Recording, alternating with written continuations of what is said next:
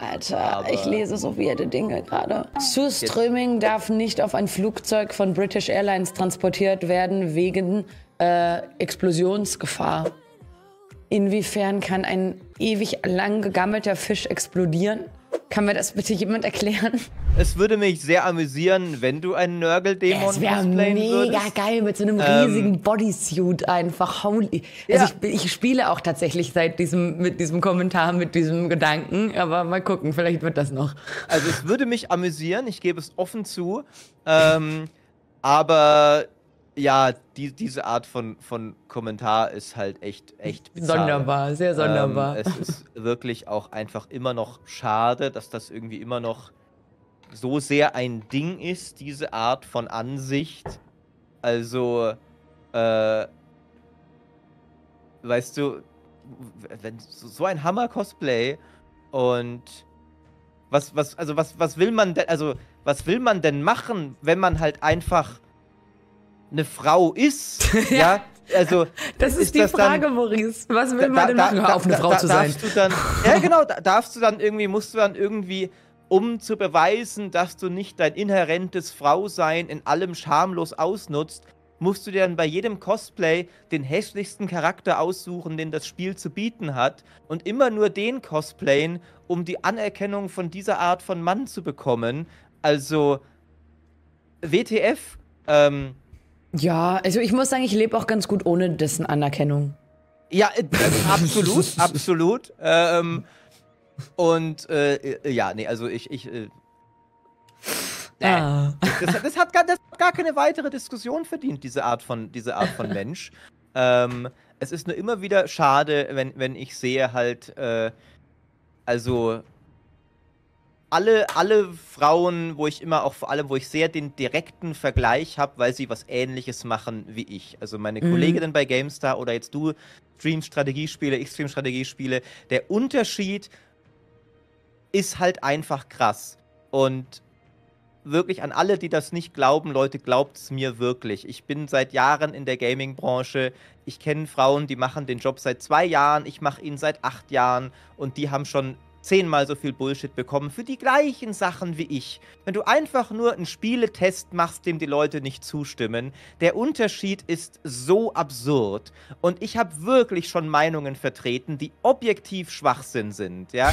Ich mag Dawn of War 3, aber ich mag kein Mass Effect. Stell dir mal vor, wenn du das als Frau öffentlich und auch noch so aggressiv wie ich das mache. Ich neige ja dazu, meine Meinungen auch sehr aggressiv zu vertreten. Ich weiß sehr genau, was jede Frau, die, also die einfach exakt das gleiche machen würde wie ich und nur eine Frau wäre, Mhm. bekommen würde. Es ist wirklich schlimm und es wäre echt schön, wenn das mal ein bisschen aufhören würde. Ähm, aber ich will jetzt auch gar nicht hier riesige irgendwie Rants halten. Ähm, wir haben ein Spiel, wir haben ein Spiel. Wir, wollen wir noch mal kurz recappen, wie die Lage ist. Äh, ich glaube, du, bei dir ist sie spannender als bei mir, denn du hattest durchaus ein bisschen Stress in, in letzter Zeit. Äh, letzte Runde, ne? Ja. So an der Mauer und so. Ich habe äh, leider das Schlangentor verloren und muss es komplett neu aufbauen. Ähm, und ich habe auch das Schildkrötentor verloren und muss auch das neu aufbauen.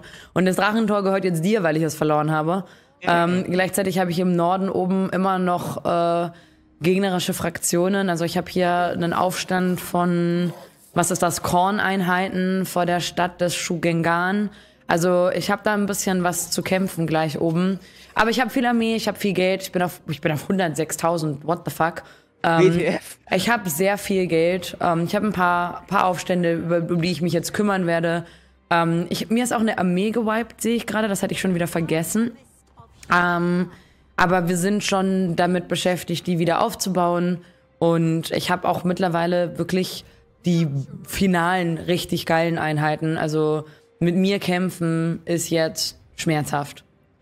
Wird Sehr gut. gut. Ich freue mich. Sehr gut. Ähm, ich derweil mache eigentlich nur das Gleiche, was ich immer in Warhammer 3 mache. Äh, ich bin auf Ogerklatschfeldzug. Dankeschön, Mariechen, für die Ähm, zwölf Monate Bei mir und ganz viel Spaß ist, ist, die. Welt, ist das Leben so ein bisschen Dankeschön. langweilig Vielen, geworden. vielen lieben Dank. Ähm, weil ich, ich, ich, ich sonne mich ja so in, in dem Schutz, den du dem Land gewährst. Ähm, also bei dir im Land ist halt die Mauer und alles brandet dagegen. Und, und ich hock da so unten rechts in der Wüste und denke mir so, ja, ja, das ist ja, also meine große Schwester macht es schon. Ähm, jetzt nicht mehr ganz, weil ich habe jetzt ein Tor als, ne, ich bin der verantwortungsbewusste kleine Bruder. Drei Tore kannst bitte du machen, aber eins kann ich mal übernehmen und dann fühle ich mich auch schon toll, als würde ich was beitragen. Ähm, aber da haben wir ja noch Kapazitäten übrig. Dankeschön, Und da habe ich gedacht, 27 Monate. wisst ihr, was doch allmählich alle im Land nervt? Dankeschön für dass ständig Support, unsere Support Karawanen auch schon. unten von Und Ogern Dankeschön, Zippel. Zippel Konua für den Prime Sub. Und deswegen bin Dank. ich hier Danke für eure Unterstützung. über, allein die Namen, ne, bin ich über Bösberg und die Schrottstadt äh, ins Ogerland eingefallen. Und ähm, böse Zungen sagen, der Feldzug stockt gerade ein wenig, weil, aber weil diese Ogerlande halt unangenehmes Klima für uns zivilisierte Kathayaner haben. Und ähm, deswegen äh, kommen wir nicht ganz so schnell voran, wie es geht. Aber wir haben schon viele Oger getötet. Also ist das gut. Ich habe übrigens gestern auch meine Solo-Kampagne beendet. Und ausgerechnet Speckus war mein Endgegner, weil Speckus als Oh einziger vor mir die, die vier äh, Seelen hatte. Und dann musste ich ihn noch einmal wegklatschen, bevor ich die Endschlacht machen konnte. Und es hatte eine poetische Befriedigung. Mein lieber Kollege Fabiano war im Chat, der ja Oger-Fan ist. Er war ganz empört, was ich da treibe, aber war halt, wie es der Chat oft ist, komplett machtlos, es aufzuhalten. ähm, es, war, es war ein gutes Gefühl, es war ein gutes Gefühl. Und genau, das ist die Lage, wie sie aktuell ist. Und ich habe nicht ganz so viel Geld wie du. Ich habe mein sündiges Slanesh-Geld schon wieder verschleudert. Ach, das ist aber schon wieder ich- weg bei dir. Ja, ja, ich habe es alles ausgegeben für, für, für, ähm, in, in den Kneipen von Han Yu habe ich es vertrunken, Gut. mehr oder weniger. Aber, aber ich habe immer noch 10.000, äh, ich bin im Plus, ich habe drei Armeen, also es, es könnte auch alles schlimmer sein. Und gerade muss ich mich ein bisschen regenerieren, äh, ist die ist die Lage, bevor ich. Es war vielleicht nicht taktisch super schlau, Krieg mit allen Oger-Fraktionen auf einmal anzufangen. Möglicherweise ist da mein blinder Oger-Hass auch ein bisschen mit mir durchgegangen. Aber, aber jetzt ziehen wir es halt durch. Hast du ernsthaft mit allen Krieg angefangen? Also zumindest mit mehreren Benachbarten. Äh, ich bin mit der. Und da, dann, dann habe ich halt gemerkt, oh, hier sind auch noch Orks und Zinich, die mich auch nicht mögen. Äh, und bin da so ein bisschen reingestolpert. Aber das ist halt jetzt so. Und ähm, Gut. Klar, Das- also wenn, wenn du das so einfach, also wenn das für dich so einfach ist, dann. ja, das ist jetzt halt äh, die, die Lage. Ähm, und Meine Karawanen sind so. Also mir sind meine ganzen Karawanen weggestorben. Das ist eher das, was mich ärgert gerade. wegen den Ogern, siehst du mal, ne? Also das ist halt auch äh, ganz, ganz klar, Ogerschuld. ja, eindeutig. Ganz klar Ogerschuld, auf jeden Fall. Mein Chat fragt, ob du es versoffen hast. Also ja, das Geld. Vielleicht, auch, vielleicht auch ein bisschen.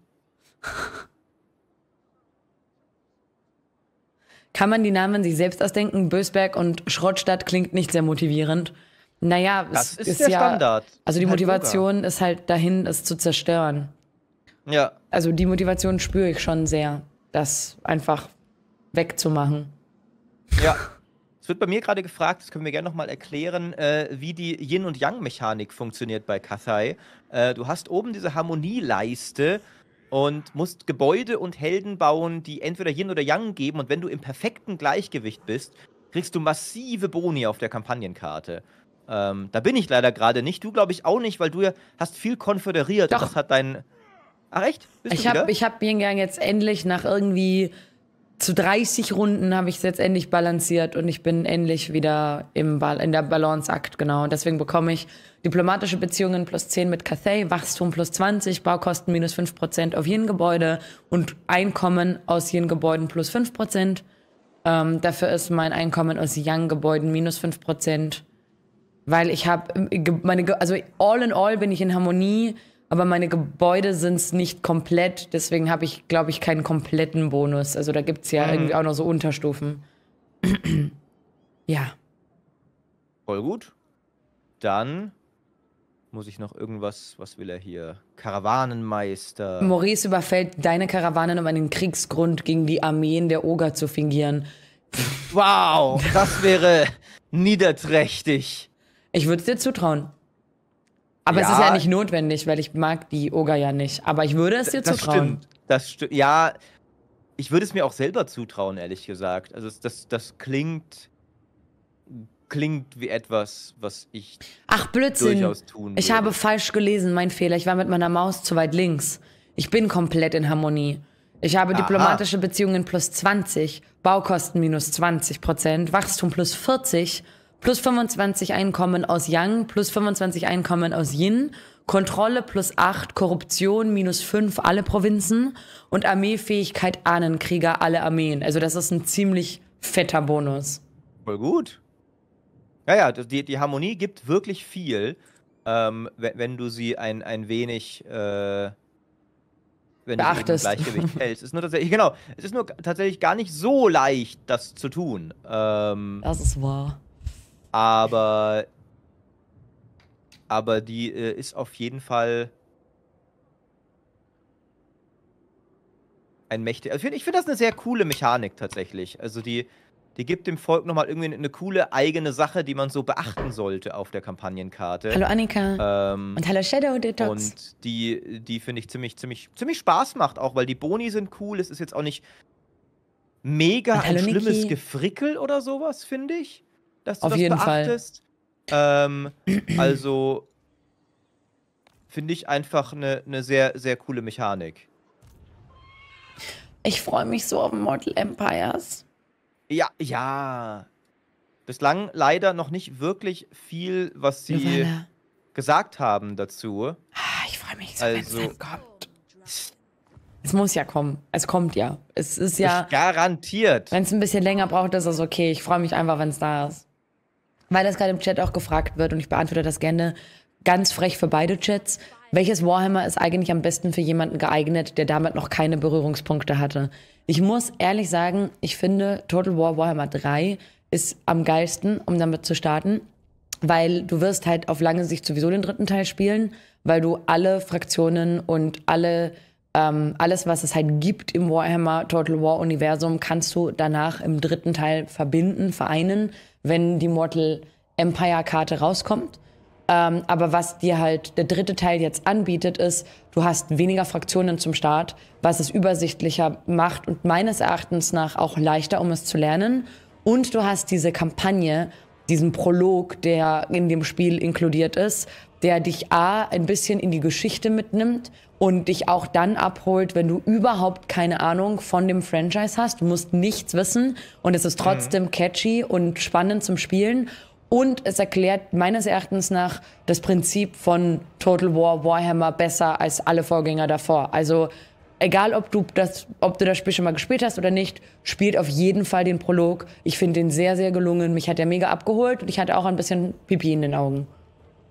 Es kam tatsächlich allerdings bei mir im Chat gestern ein, ähm, ein Gegenargument dafür, weil ich auch eigentlich bislang so dieser Meinung war, äh, oh, hallo Paul äh, und hallo Wala. Direkt eine Schlacht. So, ich so. muss ja, weil ich verliere das yeah. sonst. Ich muss, ich hoffe, dass wir das schaffen.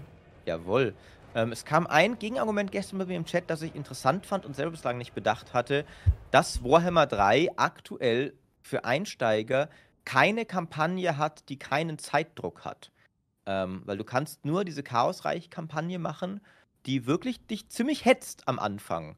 Ähm, und das ist was, was ich mir abschreckend durchaus vorstellen kann für Einsteiger. Und ähm, es macht noch eine zweite Sache falsch, die, die könnt ihr aber umgehen, wenn ihr das wisst. Es markiert die völlig falschen Fraktionen als einsteigertauglich. Weil das Spiel sagt dir, nimm Katharin oder den Dämonenprinzen. Das waren mm. die mhm. beiden Fraktionen, die Pia und ich jeweils zum Start genommen haben. Ich kann ja aus Erfahrung, der Dämonenprinz ist keine gute Einsteigerfraktion. Auf keiner Ebene. Der hat eine mega schwierige Startposition und ist auch noch kompliziert, weil er so einen großen Armee-Roster hat und diese haufenweise Items hat. Fang mit Kathai an. Ich finde, der beste Einsteiger, die beste Einsteigerposition ist meine hier, Zhao Meng. Ähm, das ist eine sehr ausgewogene Armee, keine schwere Position. Du hast ähm, äh, äh, die Fraktion, die Pia spielt, die die große Bastion für dich hält und in der Regel auch als KI-Fraktion sehr stark wird.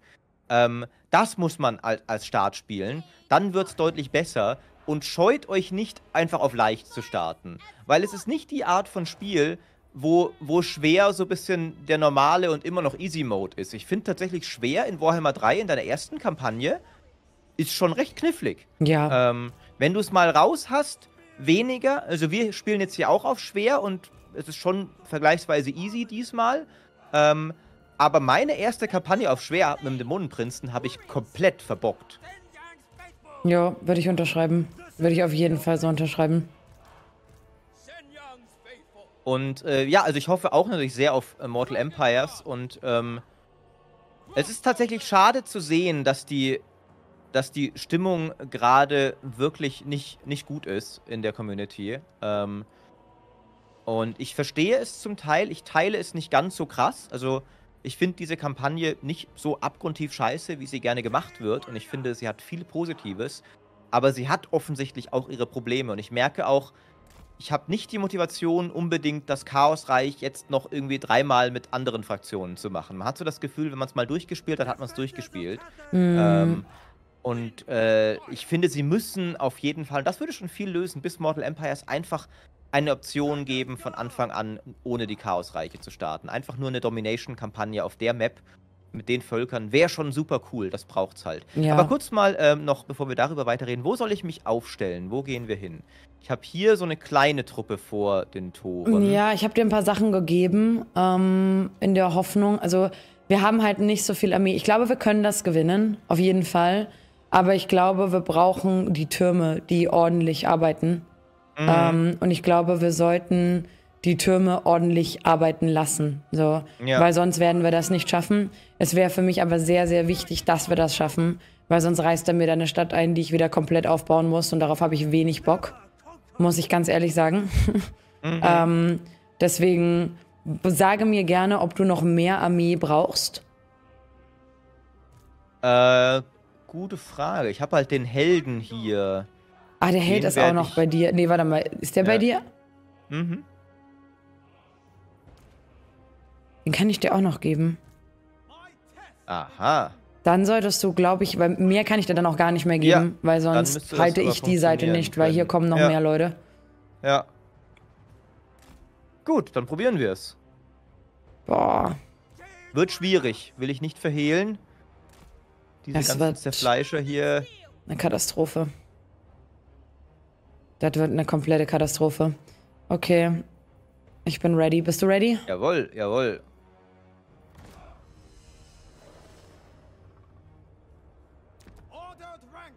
Welches RTS wäre eurer Meinung nach das einsteigsfreundlichste? Man darf ja an der Stelle nicht vergessen, dass Warhammer gar kein RTS ist, ne?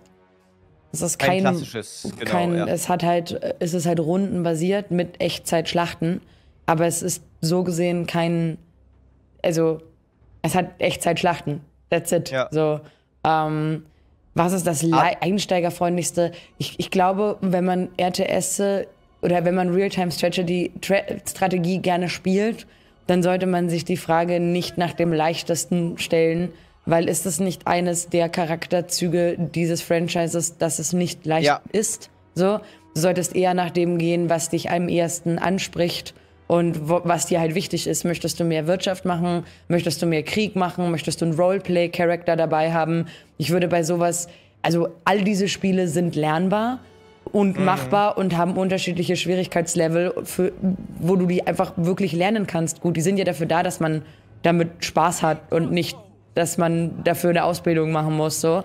Ähm, Aber ich würde nicht nach dem leichtesten gehen. Ja, würde ich auch sagen. Es ist kein leichtes Genre, leider. Ähm. Und. Was heißt ja leider, das macht das auch so schön. Ja, ja, das ist, macht es auch cool. Ähm, aber es ist, wo, wo man gucken kann, was nicht ganz das gleiche ist wie einsteigerfreundlich, aber welche ATS haben einen coolen Singleplayer-Modus ähm, und eine coole Story. Da wäre zum Beispiel in letzter Zeit Iron Harvest zu nennen, das eine echt coole Kampagne hatte und nicht so auf den Multiplayer-Stress ausgelegt ist. Wohingegen ich zum Beispiel Age of Empires 4, so sehr ich es mag, dir nicht empfehlen würde, wenn das dein Ziel ist. Ähm, weil es anspruchsvoll ist und stressig. Und die Kampagne ich gar nicht so toll fand. Ähm, Ich habe unseren wichtigsten Zauber verballert. Welcher ist das? Ich habe so einen mega krassen Damage-Zauber und ich habe den leider falsch gesetzt, weil ich doof bin und jetzt haben wir den nicht mehr. No. Aber ich habe die Ahnenkrieger eingesetzt. Also das ist super doof. Das könnte uns potenziell sogar den Sieg kosten, dass ich das gemacht habe. Das war echt nicht so klug. Ich habe den jetzt das erste Mal gesehen und wusste nicht, was er macht. Und habe es zu spät rausgefunden. Ich versuche sie so ein bisschen hinzuhalten und sie einfach viel laufen zu lassen, damit die Türme gut was machen. Ja, das ist das. I try, I try to. Ich habe jetzt hier hinten noch einen Turm gebaut, aber die brauchen halt auch so lange, bis sie da sind, die Türme, ne? Ja, meine Truppen sind auch gerade sehr langsam unterwegs.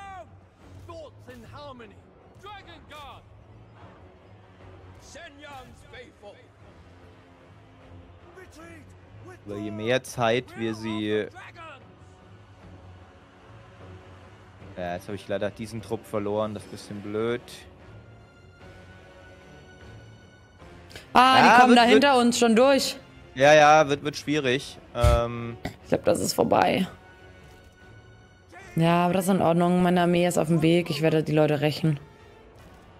ich glaube, da hatten wir wirklich zu wenig rohe Kraft, um Ja. die zu schlagen. Auch einfach zu wenig Versorgungspunkte, ne? Ja, Dafür ist das einfach nicht stark genug. Mein Turm ist jetzt, jetzt da, den ich da oben gebaut habe. Und das ist halt zu late.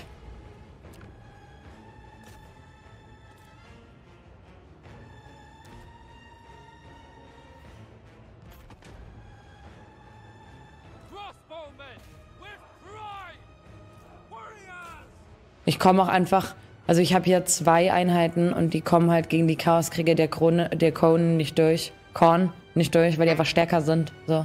die sind richtig stark. Ja, ja, die sind eine sehr mächtige, auch so eine sehr mächtige Basic-Einheit, die ich auch sehr viel benutzt habe in meiner Kampagne.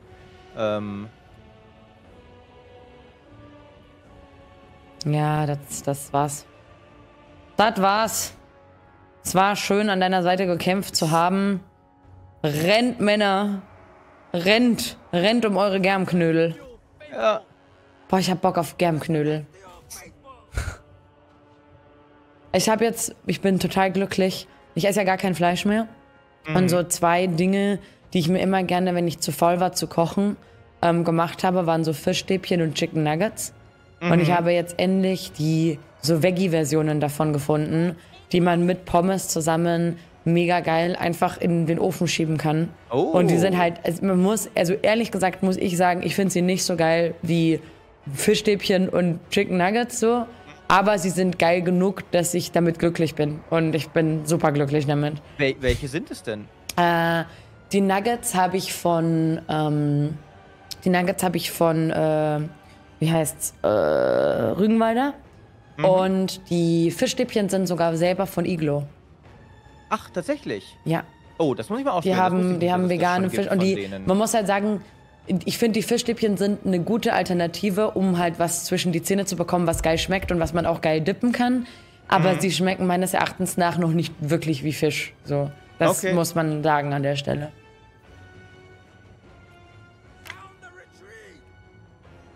Aber trotzdem, das werde ich auch mal ausprobieren. Ich hatte jetzt, also Chicken Nuggets finde ich, ist tatsächlich inzwischen, da ist die Technologie sehr gut fortgeschritten. Also ja, weil ich- die ich echten ja Nuggets von- auch nur Schaum sind, gefühlt. Ja, ja, genau, weil es auch nicht so schwierig ist vielleicht. Äh, aber die, äh, also da, die, die, ich habe die von, von äh, Vegetarian Butcher, da hatten wir schon mal drüber geredet, Mhm. die finde ich auch ziemlich gut. Ähm, also das geht inzwischen echt gut, finde ich. Jo. Ähm, Du musst unbedingt von Vegetarian Butcher diese Chickeri, Chickeri oder wie die heißen, dieses. stimmt, das, das hast du mir schon mal empfohlen. Das ist dass, so äh, gut. Ich mach da, ich hol mir quasi immer so einen, ähm, so einen leicht scharfen Delikatessensenf und Honig und misch das zu so einer eigenen Soße und dann packe ich da diese Chicory-Dings-Streifen rein und mariniere das damit und brat's dann an. Und dann hast du so eine Honig-Senf-Sauce und das ist einfach geil. Also das ist wirklich Halleluja. Das klingt in der Tat sehr, sehr gut. Mir werden, mir werden gerade lauter Dinge empfohlen und jetzt werde ich richtig hungrig. Und ich freue mich gerade, weil ich habe noch eine geile ähm, Pizza, die ich mir in den Ofen schieben kann oh, gleich. Und das werde ich gut. wahrscheinlich gleich machen. und sie hoffentlich nicht verbrennen dabei. Ja, ich merke aber gerade, wie, wie, äh, wie katastrophal outmatched wir hier sind. Ich habe hier ja. einen Trupp Kornkrieger, wirklich eigentlich perfekt in die Zange genommen, weißt du? Zwei Lanzenträger halten die, halten die Front, Reiter von hinten rein, Bogenschützen vorher noch drauf und trotzdem gewinnen die. äh, das ist, äh, das sind einfach unsere Einheiten zu, zu schlecht, ja. glaube ich, um das zu gewinnen. Also das, das war eigentlich in aller Bescheidenheit perfekt gespielt und trotzdem dieser eine ja, Trupp reicht schon aus, um uns hier geil. komplett zu dezimieren. Nein, shut on. Nein, es tut mir so leid. Boah, der Billions muss ich auch mal wieder spielen. Holy shit, darauf hätte ich auch mal wieder Bock. Hast du das gespielt? Äh, nee, aber ich habe jetzt in letzter Zeit die. Ich habe die Fantasy- und Mittelalter-Varianten davon gespielt. Ähm, Boah, spiel unbedingt auch mal der Billions. Also, holy shit. Aber ich habe viel Age of Darkness gespielt in letzter mhm. Zeit. Also vor, vor, und, und jetzt, und das spiele ich auch morgen äh, wieder um 18 Uhr weiter, ist äh, Diplomacy is not an option. Hast du das schon gespielt? Nee, ich habe gelesen auf Twitter, dass das gut sein soll bei dir. Ja. Und jetzt habe ich das auch auf meiner Liste von, da gucke ich noch rein. Das ist so ein bisschen der Billions meets Stronghold, äh, was, oh. wie ich dich kenne, dich gut anspricht. Oh ja. Mit, mit sehr schönem, albernem Fantasy-Humor. Ähm, mm. Mich hat er total abgeholt, weil du halt so ein richtig dekadenter Adelsfürst bist, der halt Bauernrevolten am Arsch hat oder zu viel Steuergelder für die Vorhänge seiner Ehefrau ausgibt und so. Ah, oh, ist das äh, geil. Ist, es ist herrlich. Ich liebe sowas. Ich, muss, ich, musste so lachen bei diesem Spiel. Ähm, und, und, ich, und ich will jetzt, ich will jetzt, ähm, mein Chat hatte die Idee und ich, und ich, ich will es, äh, weil ich habe natürlich den Berater immer vorgelesen und ich will jetzt der offizielle Synchronsprecher dafür werden. Ich will den vertonen, wenn das auf Deutsch kommt. ähm, weil, weil, weil ich mich so mit, mit ihm identifiziert habe, mit diesem versnobten Berater, den du da hast, der dich immer wieder informiert, was der dreckige Bauernpöbel heute wieder tut. Ähm, da sehe ich dich auch, gibt, um ehrlich zu sein. Ja, es gibt, aber mein Chat hat mir dann eine moralische Entscheidung. Es gibt witzigerweise tatsächlich eine, eine Entscheidung in dem Spiel, ob du dich dann der Rebellion anschließt oder königstreu bleibst. Und mein Chat hat dann gewotet, dass ich mich den dreckigen Bauern anschließe.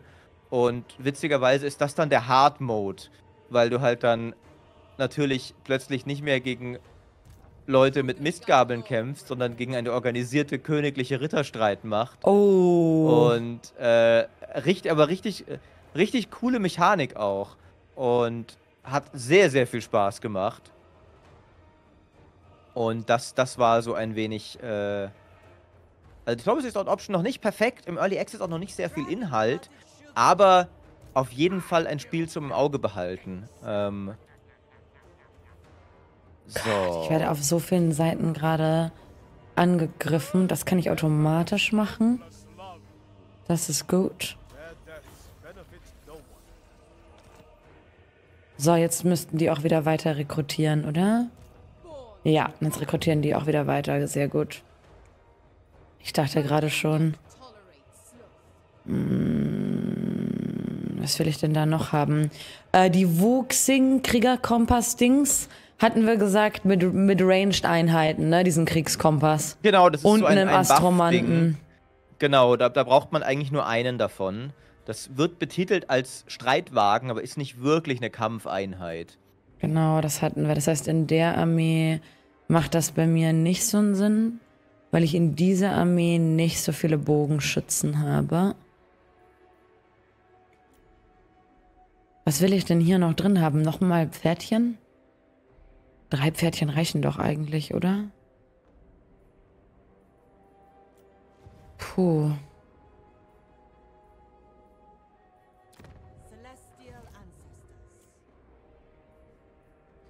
So, ich glaube, wir müssen unsere beiden Armeen hier allmählich mal ein bisschen vereinen. Das wäre, glaube ich, wichtig, dass wir beide Armeen hier runterziehen und hier Nebelklamm und Tal der Titanen nehmen. Äh, ich habe gerade keinen Überblick, worum es bei dir geht.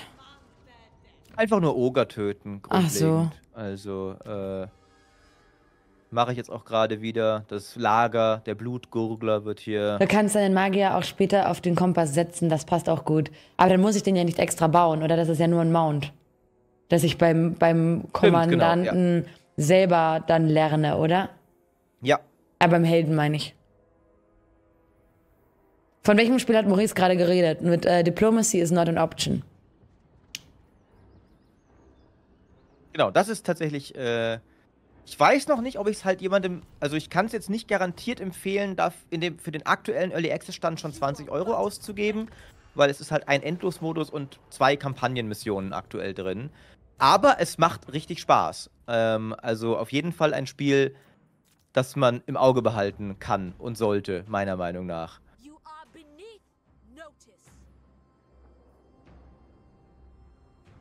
Ja, dann setze ich mir das mit meinem, genau, mein Astromant bekommt den da oben, den Kriegskompass. Dann packe ich da meinen Magier einfach später drauf und dann geht das. Easy. Easy, easy, easy. Ich muss nur jetzt aufpassen, die, ich habe da oben so ein paar wütende Armeen.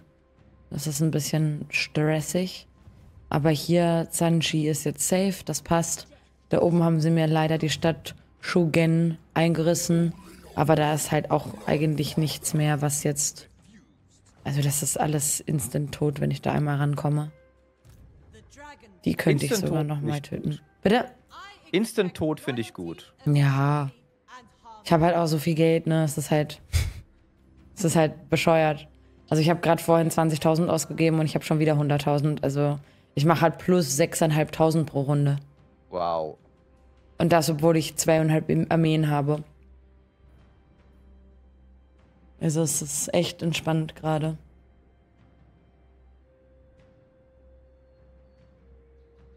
Ja, mein Problem ist ja, dass ich das. Es ist immer wieder, weißt du, die Ogers sind einfach zu blöd, um ihre Provinzen zu verwalten.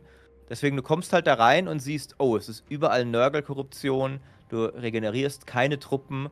Ähm, das ist so ein bisschen ein, ein Problem. Aber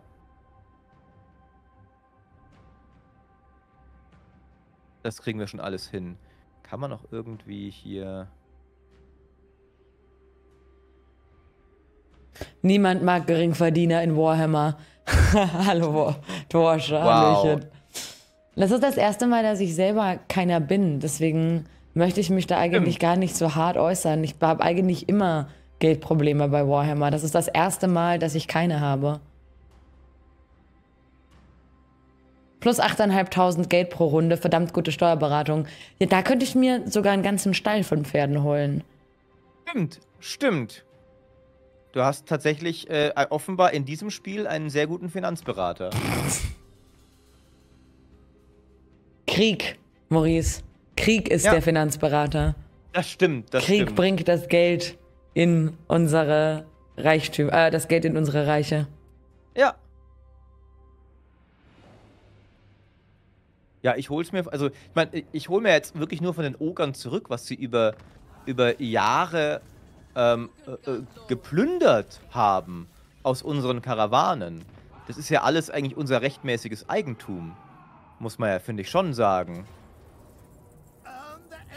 Ja, so kann man das äußern.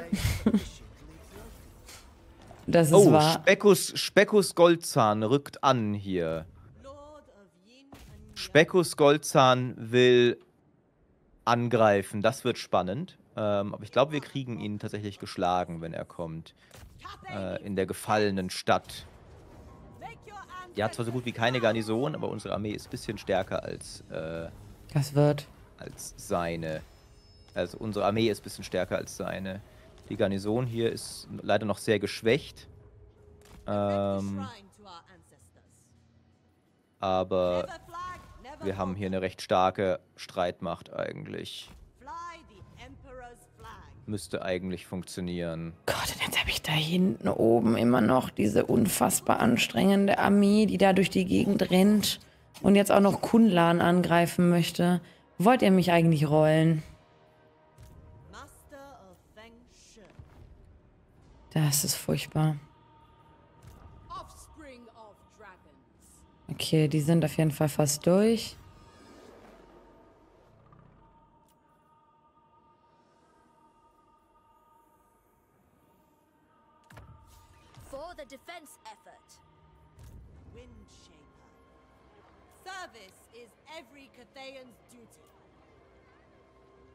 Dann lass uns doch hier mal ordentlich auf Bogenschützen gehen. Was sind denn die besten Bogenschützeinheiten? Ja, ich glaube, die. Also in dem Gebäude, wo du die himmlische Drachenwache hast, gibt es ja auch noch irgendwie himmlische Bogenschützen oder sowas. Ich weiß gar nicht, wie die genau heißen. Ähm. Irgendwo habe ich die doch auch schon. Oder bin zumindest zu weit. Die Armbrustschützen des himmlischen Drachen. Genau, ich glaube, das sind die besten, die du als Kathai haben kannst. Kann ich die schon? Ich kann die schon. Ich muss mal gucken, wo ich die schon bauen kann. Weil das billiger ist, wenn ich meine Armee dorthin schicke, als das global zu rekrutieren. Hoppala. Wollte ja hier erstmal gucken. Wird gefragt, hören die Karawanenüberfälle auf, wenn man die Oger-Fraktionen zerstört? Das, äh, es ist ein wissenschaftliches Experiment, was ich hier mache. Ich weiß es nicht, aber genau das will ich herausfinden. Also wenn ihr das richtig gehört habt, ja, er möchte gerade alle Oger wipen, nur um rauszufinden, ob er was davon hat. Ja, ja. Das Naja, ist aber ich meine, der die Plan. Sache.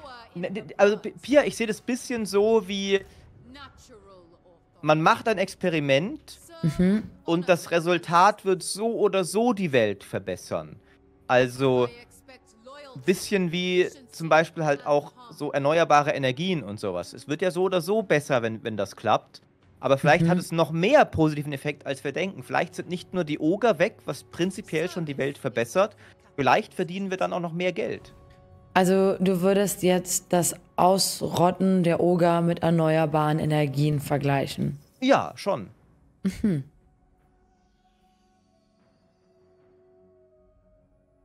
Ich lasse das unkommentiert. Also ich Ja, ja, würde, also- ich würde den Chat sein eigenes Urteil bilden lassen. Ähm, Etwas Gutes für die Welt macht, sagt mein Chat. Ja, ja. Gut. Okay, aber es sagen auch, Maurice ist ein Monster. Äh, mit, mit richtig putzigen, weinenden Anime-Emotes. Äh, jemand andere nimmt, nimmt dein, dein Yoka-Messer-Emote. Äh, Win-Win. Äh, ja. Also. Ich werde also wieder mit reingezogen, okay? Mhm. Du wirst immer mit reingezogen, weil es gibt in, in meinem Chat genug äh, Yoka-Zuschauer, dass eigentlich immer jemand deine Emotes parat hat, wenn sie benötigt werden. Damit man die Ähm, Verantwortung schön auf mich schieben kann. Genau, genau, Das genau. ist super. Ja. So, Speckus belagert uns. Das wird er büßen.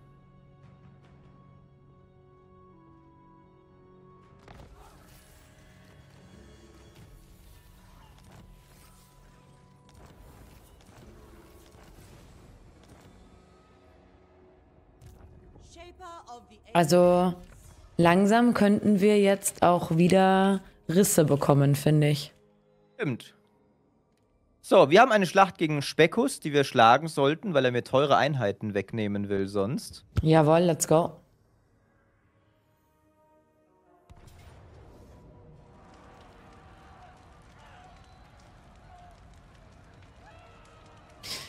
Was ist, wenn die Oger wichtig sind, damit andere Monster nicht zu groß werden? Das könnte ein gefährlicher Eingriff in die Biosphäre von Warhammer 3 sein. Dafür müsste man erstmal definieren, was Oger sind. Meines Erachtens nach ist Speckus Minimum ein Parasit. Ja, ja. Und Ich das würde auch, bedeuten, dass nur er selbst davon profitiert zu existieren. Mhm. Ich glaube schon auch. Also guck ihn dir an. Ne? Hallo, Daichan. Also, Andererseits steckt in mir auch eine waschechte echte Dunkelelfe. Für mich sind auch Hochelfen Parasiten. ja, das stimmt, das stimmt. Und Skaven, So, wo kommt hier unsere Verstärkung? Ah, nee, wir haben sie schon, unsere Garnison. obviously Okay, das ist eine ganz gute Position eigentlich. Wir können hier richtig schön mit unserer Artillerie schießen. Ich würde zwei Sekunden aufspringen und mir nur die Pizza in den Ofen Jawohl. schieben. So, ich gucke dabei schon mal. Also, sie können halt auch von hier unten kommen. Aber eigentlich auch nicht. Also, da müssen sie ewig hier rumeiern. Das werden sie zumindest eine Weile brauchen. Ich glaube, wir sollten hier oben eine, eine schöne Linie aufbauen.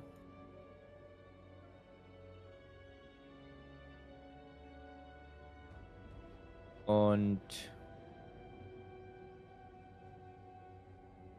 natürlich die rechte Flanke ein bisschen abgrenzen. die Kavallerie vielleicht in den Wald. Wenn er da kommen will. Kriegen wir die da rein, dass sie alle getarnt sind? Ja.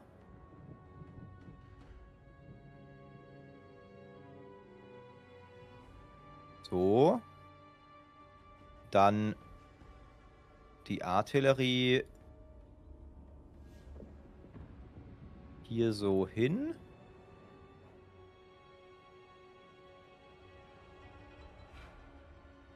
Davor die diese Schützen.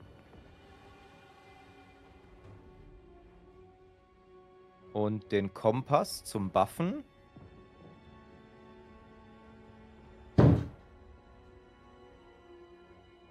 So, dann die Bogenschützen. So, ich bin wieder da und bereit.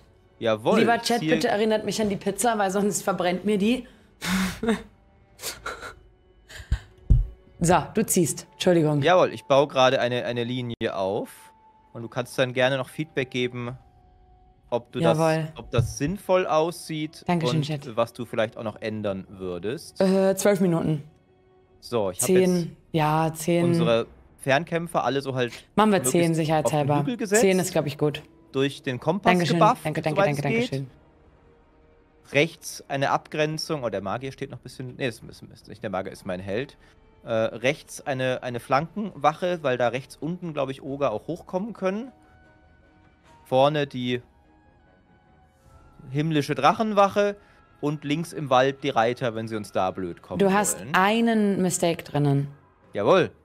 Ähm, möchtest du nicht deinen Kriegskompass ähm, lieber hier haben? Noch, ja, das ist ein guter Punkt, dass er auch noch die, die anderen. Die, ja, ja, die, genau, weil ja, wenn, weil, wenn deine bufft. Ja, Nahkämpfer nach vorne gehen, dann fehlt auf den Bogenschützen der Buff. das stimmt, das stimmt. so. Was würdest du gerne steuern davon? Also ich spiele immer ultra gerne Artillerie, aber ich nehme was auch immer du mir gibst. Dann würde ich sagen, gebe ich dir einfach die, die Fernkämpfer, das Fernkämpferkontingent Jawohl. Samt Kompass. Ich, ich mach das, ich mag das total gerne, wenn da einfach, wenn man so ganz weit im Hinten, Hintergrund total feige steht und nicht Ja. angegriffen werden kann und einfach mit riesigen Brocken auf die Leute wirft und gar nicht, wenn sie wie Ameisen zerquetscht werden und sie sind so weit weg, dass du ihre Schreie nicht mehr hören kannst, aber du stehst wie, sie dir vor. Das ist, wie man mit Ogern umgehen muss. Absolut. Ich tue vielleicht meinen Helden noch vorne an die Front, weil rechts haben wir die Terrakotta-Wache als Flankenwache. Jawohl, dann bin ich bereit. Bist du auch bereit? Äh, ich, ich muss die nur kurz durchmarkieren. Jawohl. Äh, mein Chat schreibt gerade, gleich wird wieder gebufft mit Gänsewüßchen. Nein, ich habe diesen Fehler einmal gemacht. Einmal. Der wird nicht nochmal passieren. Ich bin nicht bereit. gerade wieder unseren besten Zauber verballert gehabt? War da nicht was? Nein. Nein. So, jetzt werden Oger geklatscht. Speckus, gerade gestern haben wir uns schon gesehen. Du lernst das auch nicht.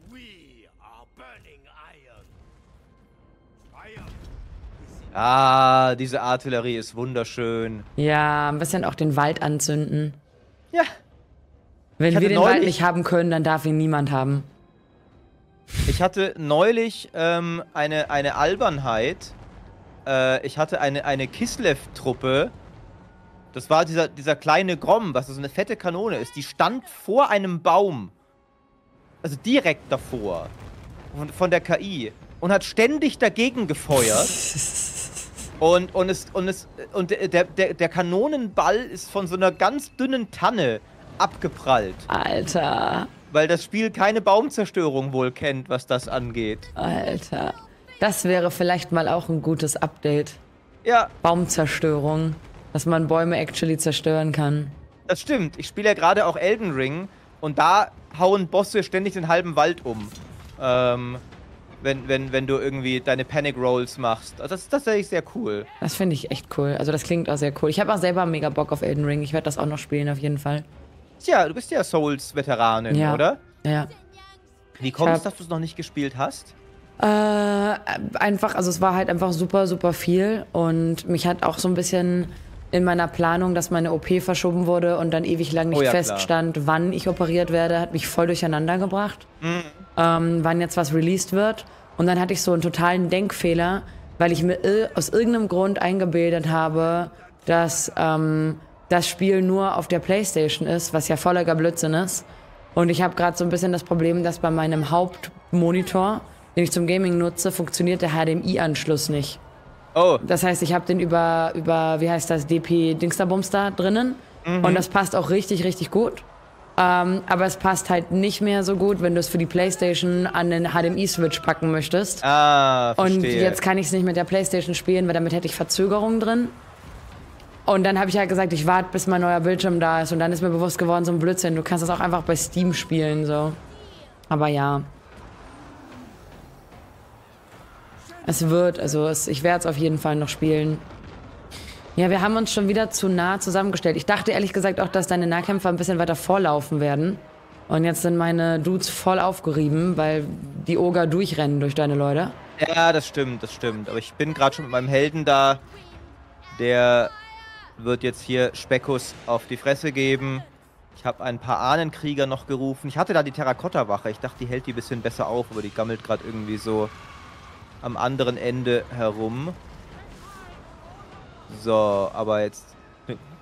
meine, wir, wir sind ja trotzdem, wir stehen ja ziemlich gut. Ziemlich gut da, wenn man sich die Stärkeberechnung Ja, anschaut. auf jeden Fall. Ich mache mir da keine Sorgen. Aber tatsächlich. Ich buff äh, diesmal auch richtig, das ist auch ganz gut. Also diesmal. Jetzt wird Speckus mal gefressen. Wieder weglaufen So, wollten. die rechte Flanke haben wir auch.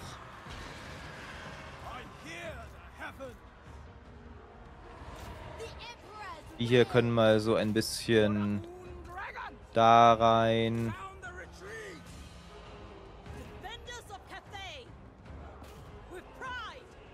So, ich schicke die von der rechten Flanke dahin. Er hier. Ich find's so geil, wie stark mein Held inzwischen ist. Der nimmt halt einfach gar keinen Schaden mehr, selbst gegen Speckus. Geil, es ist und auch macht ihn Speckos. halt richtig. Ja, ja, aber das ist ein so geiler Anblick, wie er hier versucht, dieser schäbige Oger auf seinem peinlichen Wagen versucht da noch so einen Drachen wegzuknüppeln und einfach nur kassiert. Und mein Held spürt nicht mal, was Speckus da macht. Ist das nicht einfach wundervoll? Es ist wundervoll. Es ist in der Tat wundervoll. Ja, Oger. Du hast dir das ausgesucht mit deinen Karawanenplünderungen. Weg ist er. So, und damit haben wir es.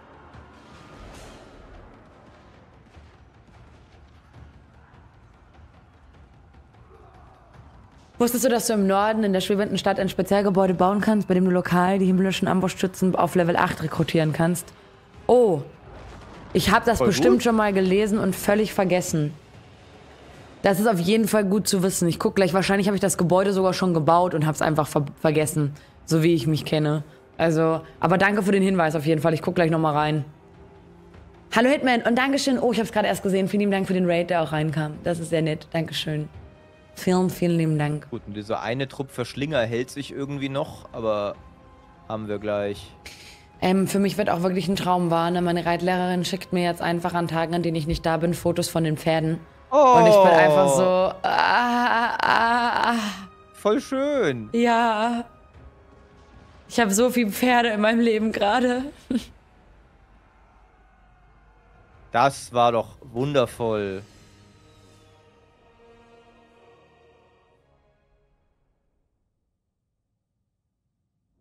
Ey, was das Spiel auch immer als knappen Sieg definiert. Wir haben vielleicht ein Viertel der Armee verloren und er fast alles. Und das Spiel sagt, oh, da ist aber fast hätten sie dich platt gemacht. Wenn die Helden so OP sind, warum nicht nur mit diesen in den Kampf ziehen? Habe ich bei Might and Magic immer gerne gemacht. Ähm, grundlegend kannst du nur einen Kommandanten pro Armee haben. Und du hast eine maximale Anzahl an Helden, die du rekrutieren kannst. Und die musst du auch erstmal hochleveln. Die sind erst stark, wenn sie hochgelevelt sind. Und die sind auch teuer. Und grundlegend, also ich weiß gar nicht, ob kann man 19 Helden in eine Armee packen? Kann man sich das Ich glaube, leisten? man kann. Also wenn man, wenn man es irgendwie hinbiegt, geht das. Es gibt auch tatsächlich ähm, einer der größeren Total War YouTuber, Legend of Total War, macht das gerne, dass er experimentell guckt, wie krass kann einfach nur ein Held werden. Also der macht dann Sachen wie Scarbrand Doomstack, was einfach nur Scarbrand gegen eine volle Kathai-Armee ist und wie man den setten muss, dass er das gewinnt, allein. Oh, Ähm. Das ist sehr, sehr geil. Also was diese Hardcore Total War YouTuber äh, äh, rausholen äh, aus diesen Spielmechaniken, finde ich immer wieder sehr, sehr cool zu sehen. Ja, dafür habe ich einfach nicht genug Ahnung von dem Spiel. Und auch, wir Element. hatten ja schon mal, finde ich, man hat auch nicht die Zeit, sich dafür. Dafür musst du dich halt wirklich sehr intensiv eigentlich mit nichts anderem befassen. Und wenn du Spieleredakteur oder Variety-Streamer bist, in unseren beiden Fällen, gibt es halt einfach eine Grenze, wie viel Zeit du auch nur mit dem einen Spiel verbringen kannst. Ähm, aber ich finde es trotzdem, also, das ist ja, dafür gibt es ja dann diese YouTuber. Also, das, das ist ja dann deren, deren Nische, die ja super cool ist.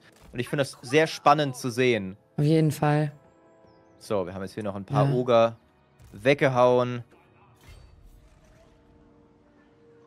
Fantastisch.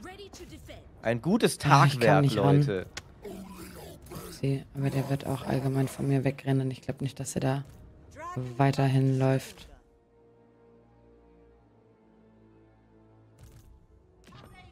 Ja. Ich muss auch sagen, ich schaue mir sowas halt gerne an und ich finde es witzig, aber mir gibt es auch selber nichts, sowas zu machen.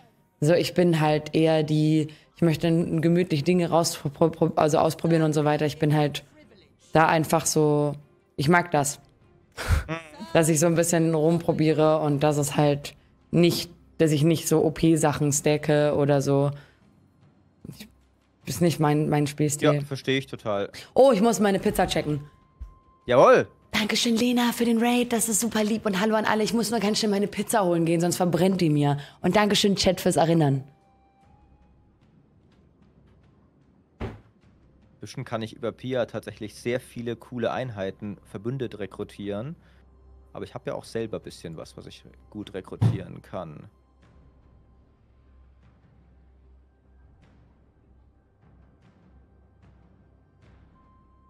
Auch wenn es länger dauert.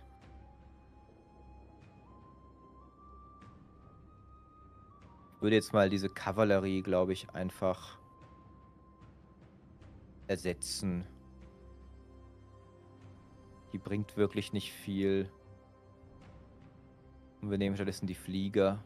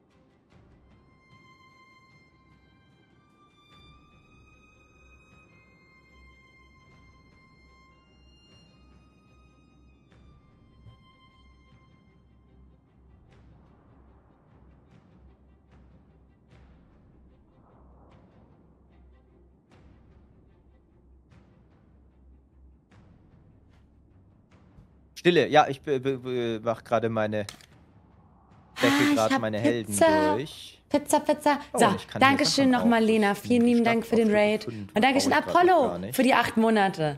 Danke für den Resub. so das ist Gold total lieb. habe. Was habt ihr Ich gemacht? bin nicht so reich wie Pia, ich bin der kleine Bruder. Auf jeden Fall, Falendel, sehe ich auch so. Also, ich mag das einfach mit diesem Gemixten und rumprobieren und gucken und ja. Welche Pizza gibt es auch? Ähm, nichts so Spezielles, einfach nur eine Margarita, aber ähm, von Lamia Grande. Ich finde, und das sage ich unsponsored, ähm, ich hatte ein Sponsoring mit Dr. Oetker zur Lamia Grande vor ein paar Monaten. Und ich habe damals das erste Mal eine Lamia Grande gegessen und seitdem habe ich immer Lamia Grande zu Hause, weil ich Oh. finde, dass es mit Abstand die beste Fertigpizza ist, die es gibt. Und ich bin nicht mehr gesponsert mit Dr. Oetker gerade. Also ich muss das nicht sagen. Ich kriege auch kein Geld dafür, dass ich das sage. Ähm, ich finde die einfach so gut, dass ich seitdem ähm, davon halt auch einfach nicht mehr wegkomme. Und jetzt habe ich eigentlich immer immer Lamia Grande Dr. Oetker Pizza at home und esse die sogar lieber als bestellte Pizza. Ich brauche kein Geldgeschenk von Pia. Ich meine, ich bin jetzt nicht so reich, dass ich gerade all meine Gebäude machen brauchst Geld? kann. Nein, ich brauche kein Geld. Ich habe nur gerade gesagt, Willst du Geld? Das... Nein, nein, alles gut. Bist du dir sicher? Ich hole mir das von den Ogern, das ist der ehrbare Weg, Geld zu verdienen. Ja, aber, also, ich werde halt nicht los. Dann, dann mach's wie Dagobert Duck, schwimm darin oder sowas. Ah, Ich wünschte, ich könnte mir einfach ein ganzes Gestüt bauen, aber geht halt nicht. Ja, das stimmt, das stimmt. Wie ist die Pizza? Um, ja, wo, So klingt es. Was, was, ist, was ist für dich die beste Pizza? Pizza Art oder von, also Marke oder was drauf ist. Beides? Gerne. Also, ich hatte vor ein paar Monaten mh, ein Sponsoring mit Dr. Oetker für so ein Lamia Grande Abend und habe damals das erste Mal Lamia Grande gegessen. Und ich bin jetzt nicht mehr mit Dr. Oetker gepartnert und bekomme kein Geld dafür, das zu sagen. Und ich habe nur noch Lamia Grande zu Hause. Also ich finde die tatsächlich so dermaßen gut. Ähm, ich finde die vom Teig her und so weiter auch einfach mega, mega geil, dass ich die mittlerweile auch lieber esse, als Pizza zu bestellen. Tatsächlich. Weil ich finde, dass die. Also bei bestellter Pizza habe ich oft dieses Gefühl, dass die dann entweder ist sie nicht mehr richtig warm, wenn sie ankommt, oder sie ist mir oft zu fettig ähm, oder halt zu trocken. Und die Lamia Grande hat meines Erachtens nach mit einem der besten Teig, Teige, die es halt gibt. Und ist so, die zerfällt so richtig geil im Mund, wenn du sie isst. Also richtig, richtig gut. Und da mag ich tatsächlich die Rucola super gerne. Also so mit Mozzarella-Käse drauf und Tomaten und Rucola und gerne, ich mag sonst generell auch gerne Mais und Zwiebeln und auch Paprika auf Pizza. Ähm, also alles, was in die Richtung geht, sehr, sehr geil. Ja. Aber ich finde halt, ich hasse, ich hasse dieses Ölige, wenn das so, wenn das so trieft. Das finde ich richtig ekelhaft. Hm, Ja, bin ich auch kein Fan davon.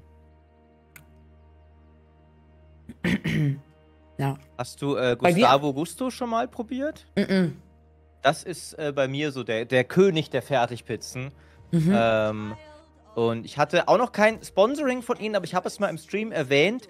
Und äh, ein Kollege von mir, der Julius, dessen Mitbewohnerin arbeitet dort, und die hat dann arrangiert, dass ich einen, einfach per Post einen, einen ganzen, eine ganze Kiste voller Pizza bekommen habe. Wow, Das, das war ist für geil. mich auch so, das war für mich auch so der Gipfel dieses dekadenten Streamer-Life, von dem alle so weit so immer reden. Du kriegst einfach Pizza zugeschickt, wenn du mal sagst, dass du sie geil findest. Und das ist tatsächlich, und ich habe auch inzwischen schon viele im Chat überzeugt. ähm, Also war das Und, für äh, sie worth it auf jeden Fall, dass sie die Pizza oh, geschickt haben. Absolut. Ich war aber, ich war davor schon Fan von denen. Ähm, und äh, also mein, mein Chat stimmt mir auf jeden Fall zu, dass das eine ganz, ganz famose Fertigpizza ist. Wie stehst du zu Ananas auf der Pizza? Oh, nein, nein, nein, nein, nein, nein, nein. Das ist äh, zu vermeiden, wenn es möglich ist. Sehr gut. Bis, bisschen wie, wie Oger eigentlich. Warum kann ich jetzt hier meine Stance nicht ändern mit diesem Helden? Warum kann ich hier nicht in Lagerstellung gehen? Ananas auf der Pizza ist ein bisschen wie Oger. Können wir das Ja. bitte, Ja. können wir das bitte festhalten? Ja, Das ist so ein schönes Bild, das du damit ist,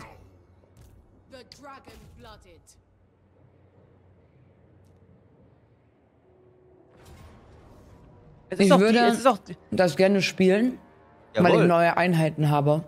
Oh. Wollen wir die Einheiten ausprobieren?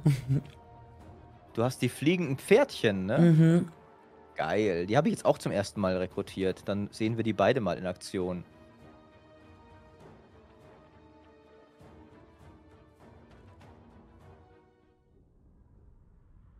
Was ist generell dein Lieblingsessen?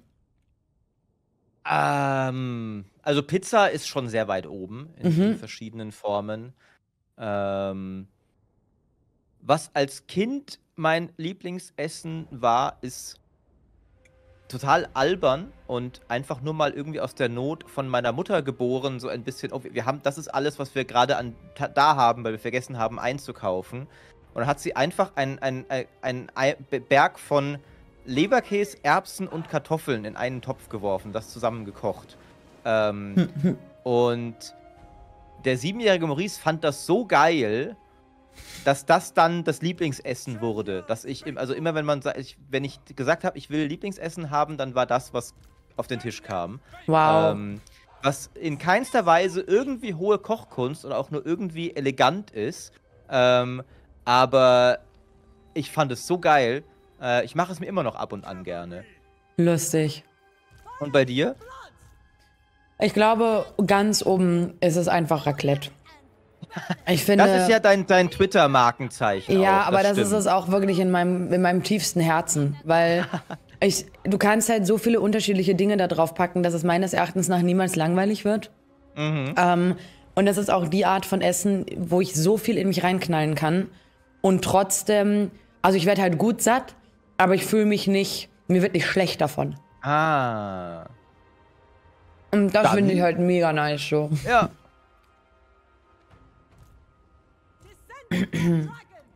Das hast du jetzt auf jeden Fall eloquenter begründet als ich meins, äh, aber sehr gut. Ach Quatsch. Ich habe dir die Pferdchen sogar gegeben, ne? Geil, ich hab's gesehen, Dann ja. kannst du die mal ausprobieren. Die sind schon prächtig. Die sehen ein bisschen aus wie so Falter, finde ich. Das stimmt, die, die Flügel sind, sind Mhm. lustig irgendwie, dass das so irgendwie eigentlich Insektenflügel fast sind von der Optik her. Äh, aber sie, du hast, du hast ja neulich schon mal gesagt, sie brauchten halt irgendwas, um die zu unterscheiden von denen von Bretonia. Und äh, das haben sie ganz gut gemacht. Aber ich sehe gerade äh, zu meiner Erbauung, diese arme Armee da drüben hat überhaupt, hat einen Trupp Fernkämpfer. Das heißt, äh, die kannst du jetzt wirklich erstmal richtig schön wegballern.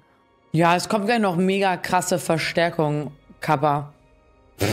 Oh, oh, ich sehe es. Wow, das wird richtig hart. Ey, das ist, da, da lebst jetzt schon gerade ein bisschen deine sadistische Ader aus, kann das sein? Ja. Dass du, dass du diese lächerliche Winzarmee, dass es dir einfach jetzt ein persönliches Anliegen war, zu sehen, wie sie stirbt. Ja. Auf Mhm. jeden Fall. Also allgemein, weil bei mir im Chat auch gerade jetzt noch viel ge geschrieben wird, ich finde allgemein, die, die, die Kartoffel ist so ziemlich das nächste an einem tatsächlichen Gottesbeweis, was wir haben. Ja. Also Ja. die, die Kartoffel. Die Salzkartoffel. Mhm. Ist, ja, ja. Nicht die Süßkartoffel, das ist richtig, das ist ein Unterschied. Äh, die Süßkartoffel ist irgendwie, finde ich, ein sehr überflüssiges Gewächs, weil ich nicht ganz verstehe, warum man sie braucht, wenn man die Salzkartoffel hat, die einfach besser ist. Mhm. Aber, aber, aber die Kartoffel ist halt einfach. Du kannst so viele wundervolle Dinge mit ihr machen. Ähm,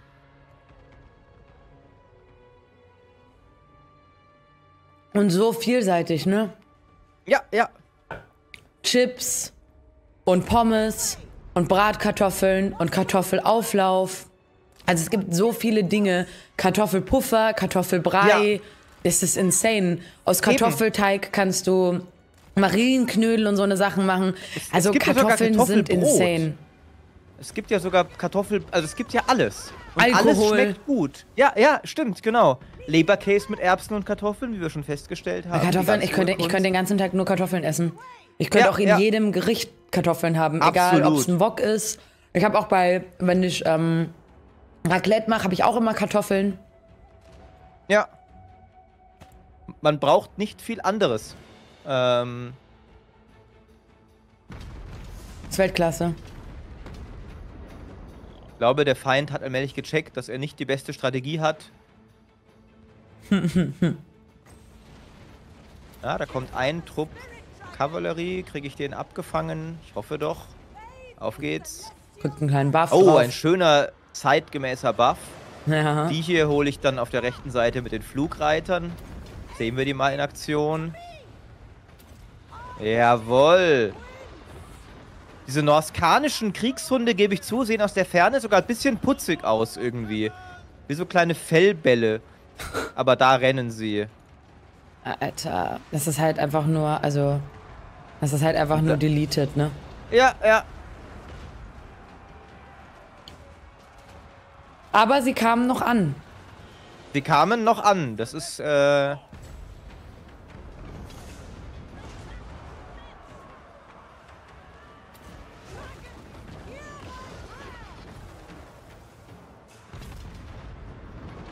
Aber auch nicht wirklich viele von ihnen. Nee.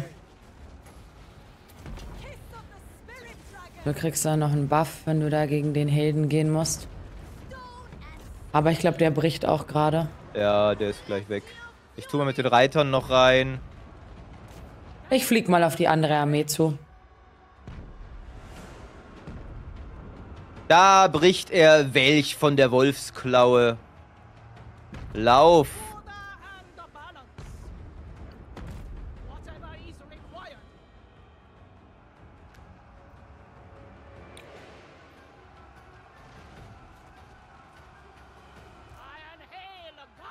Ja. Der ist auch gleich weg, weg. Gun Sorcerer. Da kennen wir nix. So, ich habe meine Artillerie jetzt ein bisschen gedreht. Die sind jetzt vorbereitet auf die neuen Leute, die kommen. Und mein Flugding habe ich schicke ich gerade vor. Sehr, sehr schön. Und der hier wird noch auf der Flucht, wurde er von deinen Shotgun-Schützen hops genommen. Es Das tut mir auch ein bisschen schönen- leid, aber nur ein bisschen. Naja, also ich meine, also die sind ja wirklich eine Geißel deiner Ländereien. Das sind ja, was die Oger bei mir sind, sind ja bei dir die hier. Also das, das, die suchen sich das ja auch aus. Die könnten ja auch sagen, wir greifen jetzt mal nicht wieder die große Mauer an. Absolut. Ja.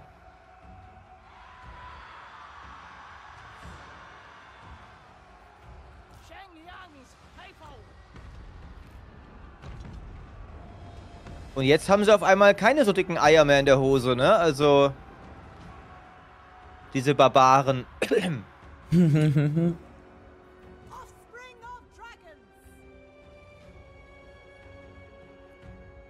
Ich finde die Artillerie so geil. Von Café. Ja. Die sieht auch einfach satisfying an, aus, wenn sie halt einschlägt. Das stimmt. Und es sieht einfach gut aus. Also, es gibt ja noch mehr Einheiten, die gute Artillerie haben. Aber ich finde, es sieht auch so viel geiler aus, als einfach nur Felsen, die wo ankommen, weil das halt auch einfach so geil brennt. Ja, ich finde zum Beispiel bei, bei Kislev, der Little Grom sieht sehr unbeeindruckend aus, weil es halt eine Kanone ist, die einen gar nicht so sichtbaren Kanonenball schießt. Die, der macht auch gut Schaden, aber so eine ganze Batterie an Feuerwerk ist halt cooler. Und die einzige Einheit, die noch befriedigender ist, aber sie ist leider auch viel schwerer zu benutzen, sind die Feuerdämonen des Zinch, die diese absurden Flammenwerferwellen Ja. in die Gegner jagen. Das ist wirklich der Gipfel der Befriedigung in diesem Spiel. Das Problem ist, die haben keine Reichweite und sterben schon, wenn du sie schief anguckst. Also, während die Artillerie, die steht halt einfach da und so Ballert Range, halt alles das ist weg. insane. ja, die ist so sehr stressfrei und angenehm auch irgendwie zu benutzen einfach. Stressfrei und angenehm in Bezug auf brennende Bälle ist, glaube ich, auch für die verfeindeten Armeen so die unangenehmste, ange äh, äh, unangenehmste Kombination, die es gibt, ne? Ja, ja, aber ich meine, die verfeindete Armee hätte ja auch nicht angreifen müssen. Das, äh, jetzt schießen die auf deinen Ballon, das kann ich nicht dulden. Da werden wir mal in die Flugpferdchen reinjeten. Das krieg ich gar nicht mit. Ja, und da rennen sie. Ich lasse gerade Bomben fallen. Der ist unter mir durchgelaufen. Was für ein Idiot. Ich lese gerade übrigens ein, ein Fantasy-Buch, äh, wo es witzigerweise gerade um, um Artillerie geht, weil die Hauptfigur ein Ingenieur ist. Oh, das Ähm, ist cool. Es könnte dir, glaube ich, gefallen. Ähm, Dankeschön die heißt 500 16 Bits. Ways to Defend a Walled City. Ähm, und es ist, äh, es ist ein, ein, äh, ein Roman, der im Grunde in einer Fantasy-Welt darum geht, mehr oder weniger um die Belagerung von Konstantinopel Hm. ähm, in eine Fantasy-Welt. Und die Hauptfigur ist ein, ein, ein äh, zynischer Ingenieur, der halt durch Umstände der Letzte ist, der die Verteidigung der Stadt noch befehligen kann, weil die Armee weg ist, die Flotte ist weg, alles ist fürs Reich beschissen gelaufen. Ähm, und dann muss halt so ein äh, zynischer Sack von einem Ingenieur, der überhaupt keinen Bock drauf hat, ihm fällt dann die Verteidigung zu. Und Wow. äh, äh, das ist äh, ein, äh, ein. äh, Bislang bin ich sehr angetan von dem Buch. Und da habe ich gestern eine Stelle gelesen, wo er tatsächlich mit neuer Innovation die Reichweite der Artillerie, weil irgendwie bislang Katapulte kommen nur 250 Meter weit.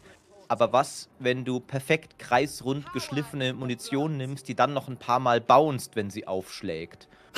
Und dann äh, hat er da durch die, durch die gegnerischen Truppen gepflügt, die halt dachten, sie sind außerhalb der Reichweite. Und die kontern dann damit, indem sie mit Trieböken ankommen, wo er denkt, naja, der, der Trieböke ist doch eine Konstruktion, das, das hat noch nie funktioniert, das klappt nicht. Äh, und dann klappt es doch und dann ist er wieder am Arsch. Und so liefern die Also sich es geht immer so hin und her quasi. Genau, liefern sie sich gerade so ein Ingenieursbattle, die beiden Armeen. Ähm, sehr unterhaltsam äh, und mal was sehr anderes irgendwie im Fantasy-Bereich. Ich war in letzter Zeit ein bisschen oft gelangweilt von Fantasy, weil ich lange keine mehr hatte, die mich so richtig begeistert hat. Und die Mhm. ist mal wieder ein bisschen erfrischend. Auch vom Ton her, der Erzähler ist so ein bisschen so ein Misanthrop, äh, bisschen, bisschen witzig, also nicht so Terry Pratchett-Level, aber so ein bisschen Humor ist mit drin. Äh, sehr, sehr angenehm tatsächlich. Das ist cool. Das klingt sehr, sehr cool. Hat Maurice irgendwie eine Neigung zum Zynismus? Nee, wie kommt ihr drauf? Nee, ah, noch nie gehabt. Noch nie gehabt. Äh, und das Buch wurde übrigens auch empfohlen von äh, dem lieben Würm hier, also äh, dem äh, Crusader Kings 3 Chefübersetzer. Er Ah. hat es geschrieben in den Chat, kurz bevor ich gesagt habe, dass das ist, was ich gerade lese. Und ich glaube, es hat ihn sehr amüsiert, dass er so ins Schwarze getroffen hat. Äh, Das ist witzig. so. Was liest du denn gerade? Gar nichts. Gar nichts. Gar Zu nichts. viel Zeit mit den Pferden. Nee, Keine Zeit ähm, mehr für Bücher. Nee, tatsächlich nicht, sondern ähm, ich lese momentan nur. ich lese wissenschaftliche Artikel und Studienarbeiten über den Bau von Burgen, Oh, auch sehr cool. weil ich ja selber schreibe und deswegen ich will momentan keine eigenen oder anderen Fantasy-Geschichten lesen, weil ich mich halt nicht in meinem Schreibstil oder in meinen Geschichten aus Versehen weginspirieren lassen möchte von anderen Fantasy-Romanen. Ah. und smart. deswegen bin ich gerade eher in, dem Geschi in der Geschichtsecke unterwegs und lese halt über, wie Bogen gebaut wurden und solche Sachen. Und das ist auch ganz spannend, aber auch ein bisschen eine andere Erfahrung gerade. Verstehe. Ja, äh, mein Chat fragt gerade, wie das Buch heißt, das du empfohlen hast. Äh, 16 Ways to Defend a Walled City. Ähm, und tatsächlich hat mich, es ist eine Trilogie, ähm, die hat mich äh, erstmal allein mit ihren Titeln gekriegt. Ich glaube, der zweite Band heißt How to Rule an Empire and Get Away with It. Ähm, und der dritte hat auch einen, irgendwie einen ähnlich klangvollen Namen. Ähm, ich weiß nicht, wie sie auf Deutsch heißen oder ob es überhaupt eine deutsche Version gibt. Das weiß vielleicht jemand im Chat. Ich, Ach, es, es, wurde, es wurde wirklich über, äh, eins zu eins übersetzt. 16 Ah. Wege, eine befestigte Stadt zu verteidigen. mein, ah ja, und der dritte Teil ist A Practical Guide to Conquering the World. Sorry, jetzt, jetzt kannst du. mein Chat hat gerade geschrieben, beziehungsweise jemand in meinem Chat hat gerade geschrieben, ach, Burgen, ich habe Bong verstanden. Mhm. Ich lese gerade Wow. darüber, wie man Bongs baut. Was? Was du dir hier versehentlich für ein Image aufbaust, Pia, ne? Äh, Ich habe halt nix getan, ne? Also wirklich nix. And ja. Aber irgendwoher kommt es ja, ne? Nein, also so fangen wir jetzt gar nicht an. Nicht? Okay.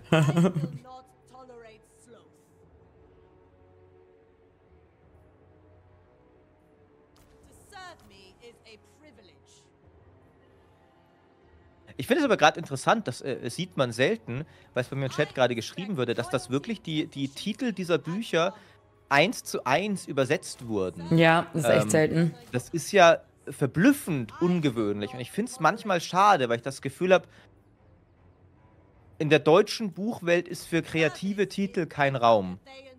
Also ich habe das Gefühl, es wird immer eigentlich irgendwie sehr zusammen. Äh, also zum Beispiel die, die Bücher von Joe Abercrombie ähm, werden alle irgendwie auf irgendwas mit Klingen übersetzt, glaube ich. Kriegsklingen und sowas. Ähm, und die haben eigentlich viel interessantere poetische Titel auf Englisch. Ähm, und das ist relativ oft so. Deswegen bin ich gerade überrascht, dass gerade die, die sehr ausgefallene Titel haben, wirklich eins zu eins, wie man ein Imperium regiert und damit durchkommt. Die klingen sogar gut auf Deutsch. Ähm, wie, sie das, wie sie das machen. Das stimmt aber, ja. ich, da geht bei Übersetzungen, geht, finde ich, auch oft so ein bisschen der Grundgedanke des Schriftstellers verloren, habe ich so das Gefühl. Weil so lustige Wortspiele in den, in den Titeln haben ja ihren eigenen Reiz und ich finde das auch immer total schade, wenn das nicht berücksichtigt wird. Stimmt. Ich meine, ich verstehe es auch. Du hast da wahrscheinlich als Übersetzer und als Verlag so ein bisschen die Frage, okay, nehmen wir einen Titel, wo wir relativ sicher sind, dass er wahrscheinlich gut Bücher verkaufen wird, auch wenn er langweilig ist? Oder riskieren wir, den Titel des Autors zu behalten und dann einfach weniger Geld mit dem Buch zu machen? Was ja, Ja. witzigerweise auch nicht im Sinne des Autors ist, blöd gesprochen. Der Autor will ja auch Geld mit dem Buch verdienen. Ähm, aber es ist manchmal schon, also gerade der deutsche Fantasy-Markt, habe ich den Eindruck, hat sich auch schon, bisschen so etabliert, dass halt, ne, wa- was, was sind die Bücher, die sich bei uns am besten verkaufen? Die Zwerge, die Mm. Elfen, die Mm. Orks. Also ich mag Mhm. diese Bücher auch, aber der deutsche Fantasy-Markt ist schon nicht sehr kreativ. Ja, das stimmt schon. Das stimmt schon, auf jeden Fall. Ist das der Maurice? Das ist der Maurice. Der GameStar Boy, wie wir letztes Mal so schön festgestellt haben.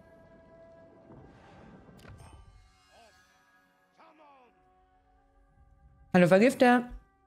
Nein, Franz habe ich noch nicht. Im Chat wurde jetzt direkt gefragt, und hast du schon einen Titel für dein Buch, Pia? -mm. mm -mm. Ich glaube, das wird bei mir das letzte sein. Ich finde den Titel für mein Buch genauso, wie ich den Titel für äh, wie ich die Namen für meine Charaktere finde. Das ist das letzte, was passiert. Der ganze Charakter steht meistens schon, wenn ich anfange mir darüber nach Gedanken zu machen, wie ich den jetzt letztendlich nennen möchte. Also, ich bin so ein bisschen genervt. Ich jag da schon wieder so eine Armee durch mein ganzes Reich und es ist echt einfach ätzend. Ja, hier kommen jetzt gleich, kommen die Oger jetzt ein bisschen so an und kommen wahrscheinlich genau eine Runde bevor meine Rekrutierung fertig ist, was mich etwas nervt. Buhl Hammerhand, da werden wir, glaube ich, gleich eine Schlacht schlagen müssen, die ein bisschen knifflig werden könnte. Ähm,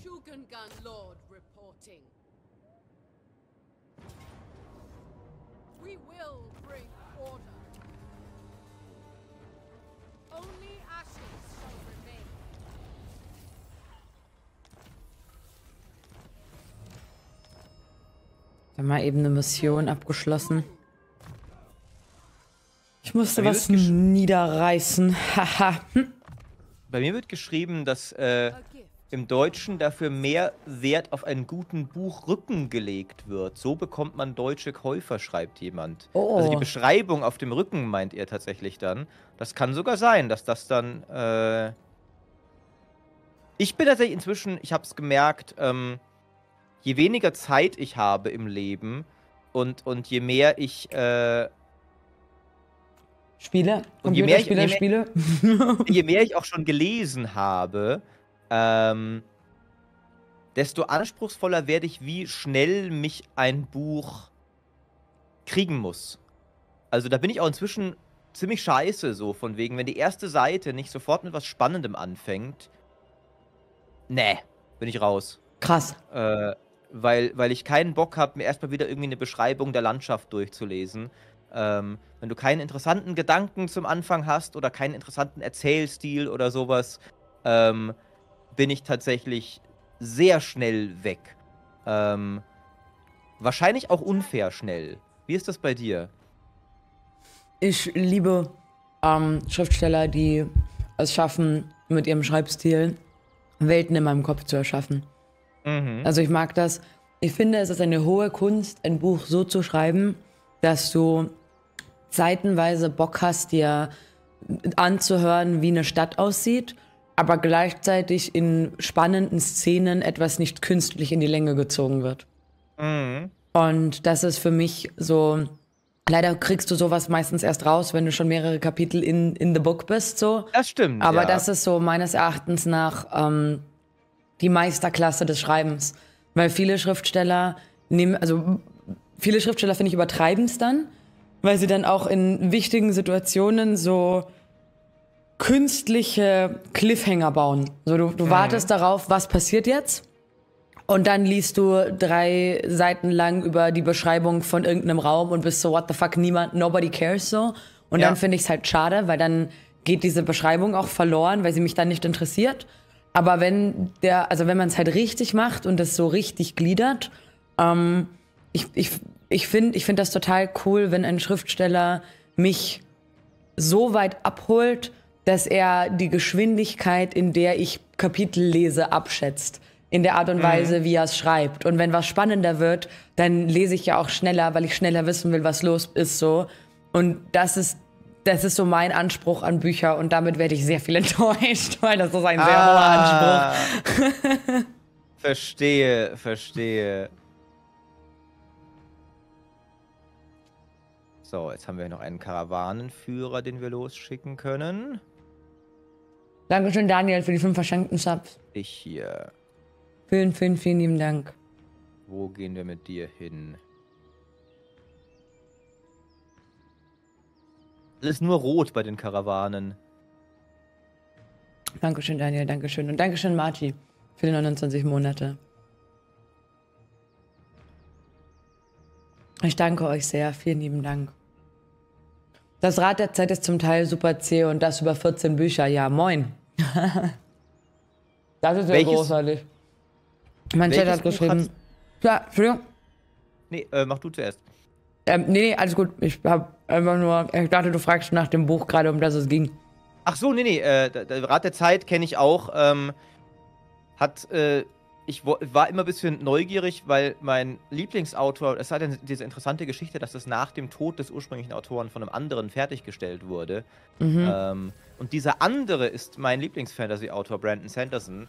Ähm, aber ich habe halt auch gehört, dass man, um da hinzukommen, äh, wo er das Buch weitergeschrieben hat, durch eine sehr lange, zähe Periode, die irgendwie 5000-seitige Bücher geht, sich lesen muss. Boah. Und da muss ich halt wirklich sagen, dafür ist mir meine Lebenszeit zu schade. Ähm, das mache ich nicht. Blooded. Das kann ich verstehen. Du hattest noch eine Frage, ich habe dich unterbrochen. Äh, genau, ich wollte, weil du, weil du äh, das mit den, mit den Büchern gesagt hast, welches Buch hat denn bei dir das am besten geschafft, dieses äh, Bild im Kopf zu erschaffen? Was war denn das letzte, wo ich sage, das hat mir richtig, richtig krass gefallen? Also, ähm, ich glaube, eine der Bücher, die ich mit am krassesten in Erinnerung habe, und da weiß ich einfach nicht, ob das damit zusammenhängt, wie jung ich damals war, als ich sie gelesen habe, sind die Bücher von Cassandra Clare. Ähm, die hat halt so, die schreibt halt so Teenie-Romane. Ich habe den Ähm, ersten damals gelesen. Das war diese City of Bone. Ja, City genau. of irgendwas kann das Genau, sein. ja, ne? genau. Und ähm, was für mich Cassandra Clare zum Beispiel unfassbar krass gemacht hat und was ich so kaum ein zweites Mal bis jetzt gelesen habe, also die hat den Charakteren in ihren Büchern so viel Charakter verschaffen, dass ich nicht mehr lesen musste, XY hat gesagt. Also ich konnte einfach an der Art und Weise, wie Gesagtes geschrieben wurde, wusste ich, welcher Charakter das gerade gesagt hat oder wessen Meinung das gerade ist, weil sie es meines Erachtens nach geschafft hat, den Leuten so gut einen eigenen, einen eigenen Charakter einzuflößen, sozusagen. Ähm, das fand ich schon ziemlich, ziemlich cool. Äh, ich habe Harry Potter abgebrochen, zum Beispiel im zweiten Teil. Ich finde Harry Potter ganz furchtbar. Tatsächlich. Mhm. Wie kommt's? Ich finde es einfach nicht gut geschrieben. Interessant. Ich finde Harry Potter einfach langweilig geschrieben. Ich finde die, ich finde die Idee hinter Harry Potter gut. Ich mag auch die Filme zum Beispiel sehr gerne. Aber ich finde den Schreibstil finde ich einfach nicht gut.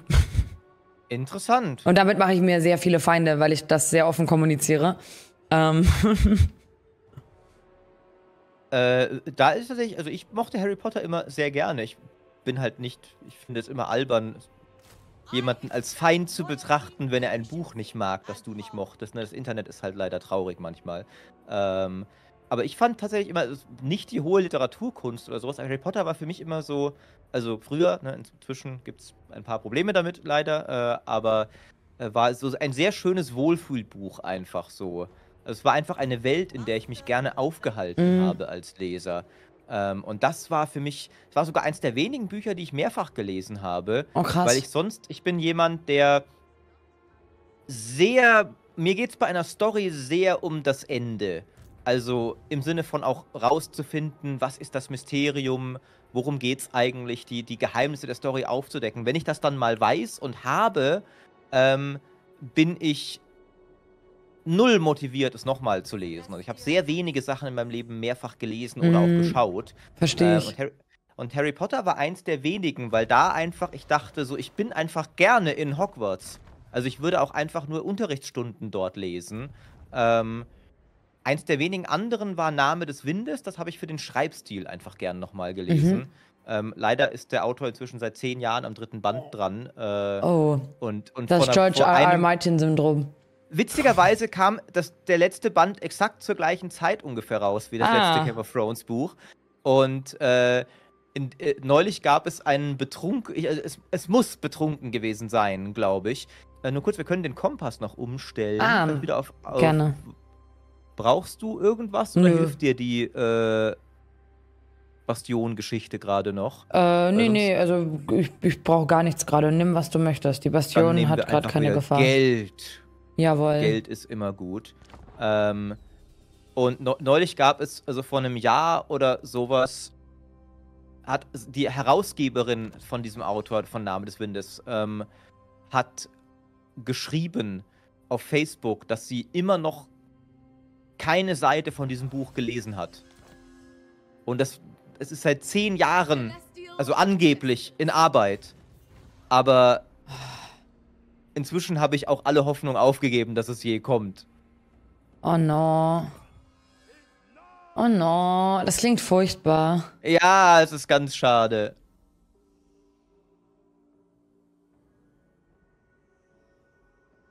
Weil im Chat gefragt wird, also ich habe Harry Potter sowohl auf Englisch als auch auf Deutsch probiert. Ähm, als, Jugendliche. Weil es alle gelesen haben um mich rum.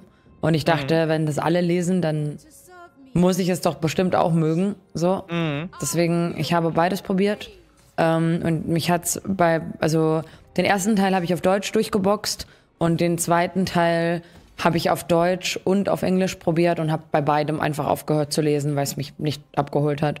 Und das muss echt was heißen, weil ich eigentlich, also ich bin so jemand, wenn ich, wenn mich ein Buch fesselt, dann lese ich auch 400 bis 600 Seiten am Tag. Also dann lese ich einfach durch. Und das war, ist einfach nicht mein, nicht mein Schreibstil. Interessant. Was ich äh, gut geschrieben fand, war die ersten zwei Teile von Eragon. Die haben mich auch gefangen. Und da hat mich dann, der dritte hat mich dann verloren. Weil sich der dritte Teil, also der war ja, ursprünglich war Eragon ja als ein Dreiteiler geplant. Und der dritte hat sich angefühlt, als würde äh, Christopher Paulini jetzt gerne auf Zwang noch einen vierten schreiben wollen, weil es finanziell gerade so gut läuft. Und das würde er ihn Ah. einfach künstlich in die Länge ziehen, statt die Geschichte abzuschließen. Und das fand ich nicht mehr gut.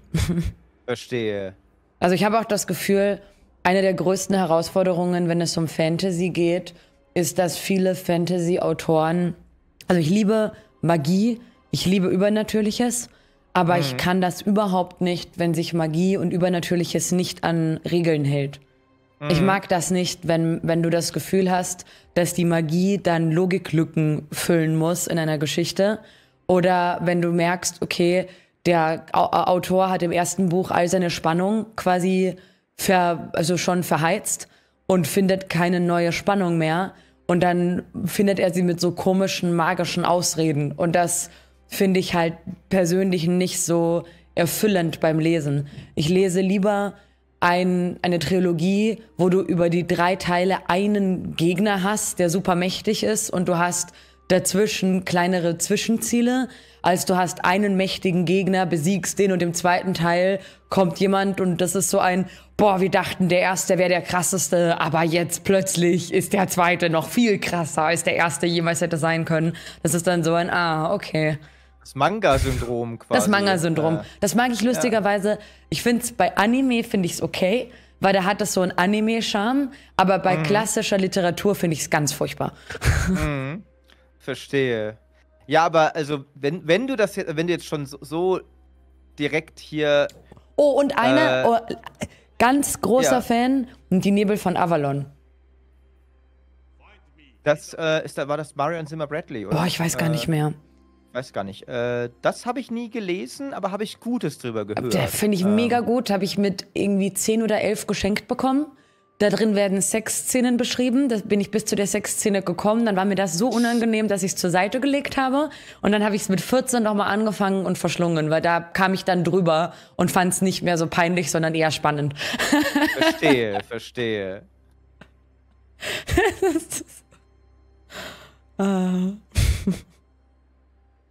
Aber wenn du, wenn du schon ähm, mit, mit Magie und Regeln und sowas, dann zwingst du mir jetzt den Missionarsmodus fast schon auf, Pia. Ähm, Beim Missionarsmodus. Dir, meinen Lieblingsautoren näher zu bringen. Ähm, Brandon Mission Magomania Sanderson, für die äh, 41 Monate. Denn der macht tatsächlich, der ist bekannt Dankeschön, für seine Dankeschön. sehr ausgefallenen, aber sehr logisch durchstrukturierten Magiesysteme. Ähm, zum Beispiel sein, Dankeschön, sein Haupt... Harris für die 14 Also sein Monate. das erstes Dank. großes Werk war die Dankeschön, Dankeschön. Mistborn-Trilogie, Kinder des Nebels, ähm, wo Magie auf Metallen basiert. Also Magie ist im Grunde basiert auf Magnetismus und die Magier können halt Metalle kontrollieren. Das wurde mir Und- schon vorgestellt mit genau der gleichen, mit dem gleichen Anfang, mit dem gleichen Buch, das vorgeschlagen wird, mit dem Magiesystem und aufgrund von der gleichen Diskussion. Also du bist auf einem Geil. guten Missionarsweg. Es ist tatsächlich schon ganz oben auf meiner Liste für, wenn ich wieder Fantasy-Bücher lese. Ja, also ist das wenn- wahrscheinlich wenn- der Einstieg. Weil, weil man, also es, äh, man, man muss wirklich, wenn, wenn man ihn kennt und du genau das eben sagst, was du gerade gesagt hast, muss man einfach sofort daran denken. Es überrascht mich gar nicht, dass irgendein anderer Fantasy-Fan es dir auch schon mal empfohlen hat. Ähm, und eine zweite Sache, die für Brandon Sanderson spricht, ähm, du hast ein viel glücklicheres Leben als Brandon Sanderson-Fan als als George R. R. Martin-Fan zum Beispiel. weil, weil der Typ schreibt wie ein Irrer. Und man, es ist nicht nachvollziehbar. Aber er kam jetzt neulich um die Ecke und du musst dir das vorstellen, der Typ haut schon so ungefähr im Jahr einen 1000 Seiten Roman raus. Und die sind immer gut. Und er macht nebenbei noch, um sich abzulenken, schreibt er noch irgendwelche Novellen und Comics und Kurzgeschichten, macht einen Podcast übers Schreiben und so. Also du verstehst es jetzt schon nicht, wie er das alles hinkriegt. Hm. Und Jetzt hat er neulich ein YouTube-Video rausgehauen. Ähm, Leute, ich muss euch ein Geständnis machen. Ich hatte in der Pandemie, musste ich ein bisschen irgendwie, ein, ein, brauchte ich einen Coping-Mechanismus. Ich habe in den letzten zwei Jahren heimlich vier Bücher geschrieben. Noch neben den Sachen, die ich eh schon die ganze Zeit veröffentlicht habe. Und, und er hat jetzt, er hat jetzt einen Kickstarter gemacht für, äh, für, dass du im Jahr 2023 alle drei Monate halt eins von diesen Büchern von ihm bekommst. Und dieser Kickstarter hatte irgendwie innerhalb von einem Tag, war der, glaube ich, bei 20 bis 30 Millionen Dollar. Alter. Ähm, und ich weiß nicht, wo er jetzt steht. Vielleicht kann das jemand im Chat mal nachschauen. Ähm, aber weißt du, wenn du halt irgendwie mal denkst, ich hätte gern, ich wür würde mir wünschen, dass mein Lieblingsautor jemand ist, bei dem ich mich nie fragen muss, oh, ich brauche was zu lesen, es gibt nichts mehr. Dann liest Brandon Sanderson. Es ist wundervoll. Es ist ein so schönes Leben, Brandon Sanderson-Fan zu sein. Weil du einfach, aber du brauchst auch keine anderen Bücher mehr. Du musst nie wieder Genau. in eine Buchhandlung gehen. Du wartest nur, bis bei seinem Shop was Neues aufploppt. Und das Gute ist, ähm, der, der, schreibt halt auch, der schreibt Fantasy, epische Fantasy, er schreibt Young Adult Sci-Fi, er schreibt halt auch, er schreibt Superheldenromane. Ähm, also, du musst auch nicht denken, oh, das ist der eine Autor, das langweilt mich irgendwann, weil der immer das Gleiche macht. Nee, ähm, der hat, der hat, äh, eine seiner, seiner Reihen ist inzwischen Western Fantasy. Ähm, weil er tatsächlich mal etwas macht, was kein anderer Fantasy-Autor je macht. Er hat mal in seiner Welt tatsächlich die Zeit voranschreiten lassen. Und das Lustige ist, das ist die Fantasy-Welt von ihm, wo, wo die Metallmagier drin sind. Das Ja. heißt, du hast halt dann auf einmal Pistolen und musst dir die Frage stellen, wie gehst du denn mit Pistolen um, wenn die Magier in deiner Welt Metallmagier sind? Ähm, oh. also der, und, und dann gibt es halt tatsächlich Waffenschmiede, die spezielle Magier-Killer-Kugeln erschaffen, die äh, ohne Metall funktionieren. Weil das eine logische Sache ist, die du in dieser Welt halt brauchst. Das ist Ähm, geil. Oh, ich also, liebe sowas. Boah, ich liebe ist- Worldbuilding. Siehst du, siehst du, ja genau, alles, was du gerade beschrieben hast, hat Brandon Sanderson. Das ist schön. Ich, ich liebe sowas. Ich liebe sowas so sehr. Wirklich. Ich finde sowas so großartig. Ich glaube, eine der meisten Dinge, über die ich ein, also einfach raustilte ähm, bei den Harry Potter Sachen. Ähm, und ich finde Harry Potter ja grundsätzlich schon sehr gut. Und ich finde, also von dem, nochmal, ich finde den Schreibstil, der holt mich nicht ab. Aber ich finde die Geschichte und die Idee der Geschichte finde ich gut. Und ich finde die Idee, dass du halt bei Harry Potter so einen großen Erzfeind hast und so Zwischensteps dazwischen hast, finde ich halt interessant zu lesen. Aber eine der Dinge, die mich in den Filmen, und da kann ich nur über die Filme reden, weil ich habe die Bücher nach dem zweiten Teil nicht weitergelesen, etwas, was mich in den Filmen immer ein bisschen gestört hat, ist, dass ich das Gefühl hatte, dass erst ab dem sechsten Teil so wirklich klar definiert war, wie Voldemort funktioniert. Ich hatte das, Gefühl, dass davor auch, also nicht nur, dass du als Leser so ein bisschen ein Mysterium dahinter hattest, sondern ich habe auch das Gefühl, dass die Vorstellung davon, wie Voldemort funktioniert, warum er noch existiert, dass er seine Seele aufspaltet auf unterschiedliche Gegenstände, die du dann zerstören musst. Ich habe dieses das Gefühl, dass diese Idee erst viele Jahre into the story entstanden ist und deswegen fühlt sie sich in manchen Bereichen für mich nicht ganz schlüssig an. Oder zum Beispiel auch die Geschichte mit dem magischen Umhang, ähm, wo es halt dann im, den, den Harry, ich glaube, im zweiten Teil bekommt, wo Ron halt sagt, boah, das ist, das sind, die solche Umhänge sind unfassbar selten. Und im sechsten oder im siebten Teil erfährst du, die sind nicht nur unfassbar selten, sondern diesen Umhang gibt es nur ein einziges Mal. Ja. Das sind halt so Kleinigkeiten, aber an solchen Dingen hänge ich mich dann auf, weil ich halt nicht aufhören kann, dann darüber nachzudenken, so, what the fuck. Und ich liebe es, wenn Schriftsteller mehrere Bänder schreiben und im, du einfach vom, vom Anfang bis zum Ende, du merkst, dass sich zwar die Geschichte auch weiterentwickelt und inspirieren hat lassen, aber die Grundregeln Regeln und Konzepte konstant sind und nicht Dinge editiert werden zu den Grundregeln. Und sowas finde ich halt mega cool. Das stimmt. Ja, ich fand da auch bei Harry Potter wurde am Ende auch in den Büchern irgendwie sehr draus, also es, es wurde auch irgendwie so sehr viel, sag ich mal, die Story wurde sehr mit Rules Lawyering entschieden am Ende, hatte ich den Eindruck. So, äh, und, und wem jetzt der Zauberstab gehört, haben wir jetzt über fünf Ecken definiert und das entscheidet dann die Story. Nicht, ob irgendwie Harry inzwischen ein besserer Zauberer ist, sondern nee, weil Draco Malfoy der rechtmäßige Besitzer des Zauberstabs ist über drei Regelschlupflöcher, äh, besiegt Harry jetzt Voldemort im Zaubererduell. So, wait, what? Da, Ja. da, das war jetzt, ist jetzt die epische Conclusio dieser Geschichte. Ähm, fand ich auch. Ähm, so, ich würde jetzt eigentlich kurz mal sagen, dass wir uns hier so, wo die Ballons gerade stehen, aufstellen und ihn dann so richtig im Tal wegballern, wenn er hochstürmen muss. Was meinst du? Jawohl, machen wir gerne. Das äh, klingt doch auch noch etwas, was Artillerie Pia äh, mit Freude machen kann. Artillerie Pia macht sowas unfassbar gerne. Artillerie Pia Ja. mag den Titel Artillerie Pia auch gerne. Harry Potters So. einzig besondere Kraft ist, dass seine Eltern ihn geliebt haben. Das ist für mich auch immer so ein riesiges Rätsel gewesen. Ja, Diese, ja. die Liebe, als ob die anderen Eltern ihre Kinder, die getötet worden sind, nicht über alles geliebt hätten, so. Also, Ja, Das habe ich auch nie das habe ich, also, das finde ich, also da bin ich, aber da bin ich auch einfach zu sehr Dark Fantasy Liebhaberin. Das ist mir einfach, das ist mir zu viel Kuscheln.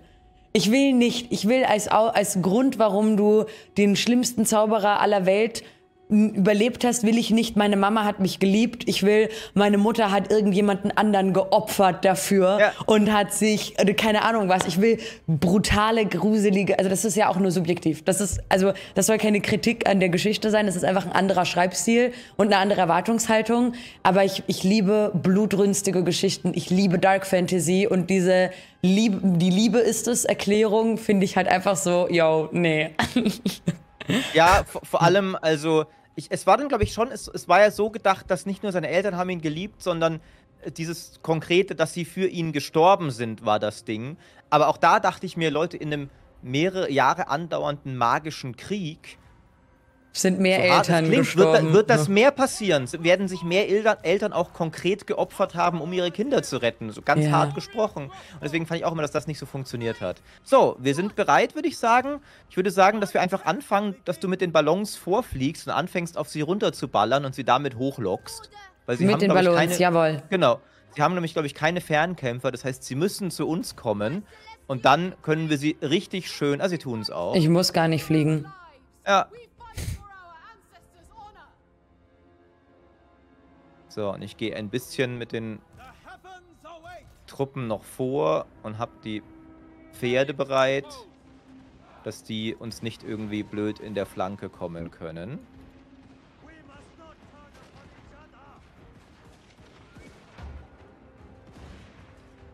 Trotz allem muss man sagen, dass Harry Potter trotzdem mit einer der besten Buchverfilmungen ist, die es gibt, finde ich, was so Fantasy-Sachen angeht. Also auf Fantasy bezogen. Weil es ist ja auch unfassbar schwer, ähm, so viele, so viel Geschriebenes dann auch quasi zu verfilmen. Und ich finde, da ist Harry Potter schon sehr gelungen. Vor allem für die Zeit, in der es entstanden ist, als noch nicht so viel Geld eingeplant wurde für Fantasy-Verfilmungen. Warte mal kurz. Ah, wir können hier noch Ahnenkrieger rufen. Na, das ist ein bisschen Quatsch gerade.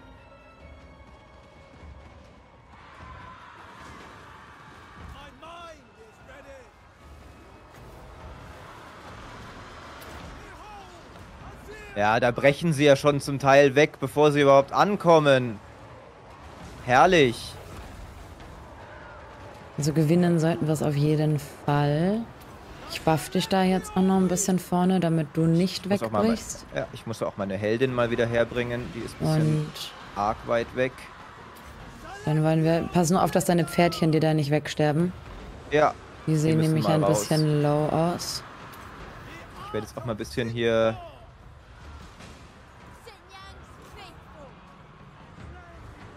meine Heldin auf ihren werfen. Oh je, das hat schön wehgetan.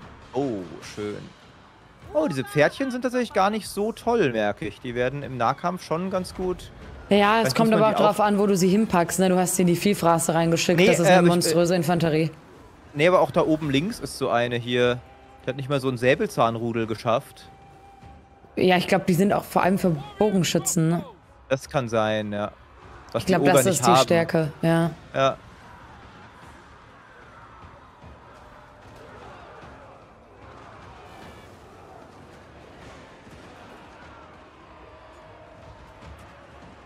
Ich will auch, also weil das gerade im Chat drin steht, ich möchte damit nicht grundsätzlich ähm, den Filmen ihre Existenzberechtigung absprechen oder den Geschichten. Und natürlich ist es eine Möglichkeit, Dinge auf diese Art und Weise zu retten. Also das ist ja völlig fein. Ähm, weil, weil er gerade sagt, ja, aber sie hat das ja auch, das war eine gute Idee, das zu retten.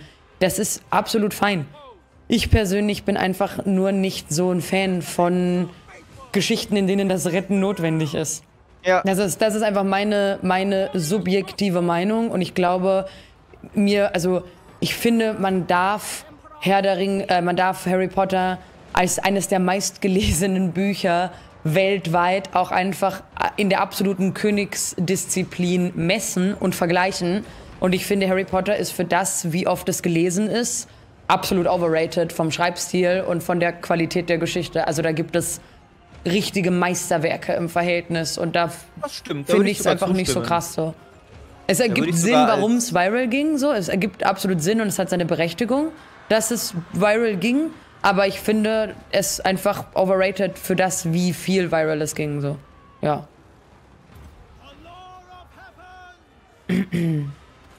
So.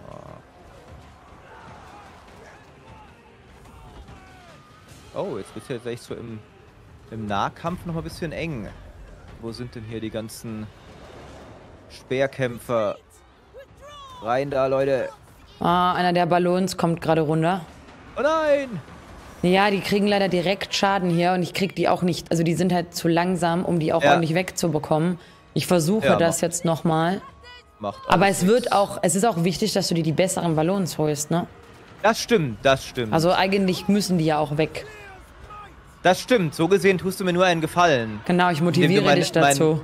Mein, meine Armada äh, modernisierst. Boah, das ist halt schon ordentlich. Das hat's gerade ordentlich intus da. Das bricht gerade ordentlich weg hier alles. Ja, ja, ich merke es. Ich schicke die Nahkämpfer noch mehr rein. Ja, ich, ich, ich merke schon, ich brauche noch ein bisschen mehr eine stärkere Frontlinie mit der Armee. Das ist auch nicht meine Hauptarmee, die ist noch nicht ganz so stark. Aber wir haben jetzt gleich ihren Helden weg, das ist gut.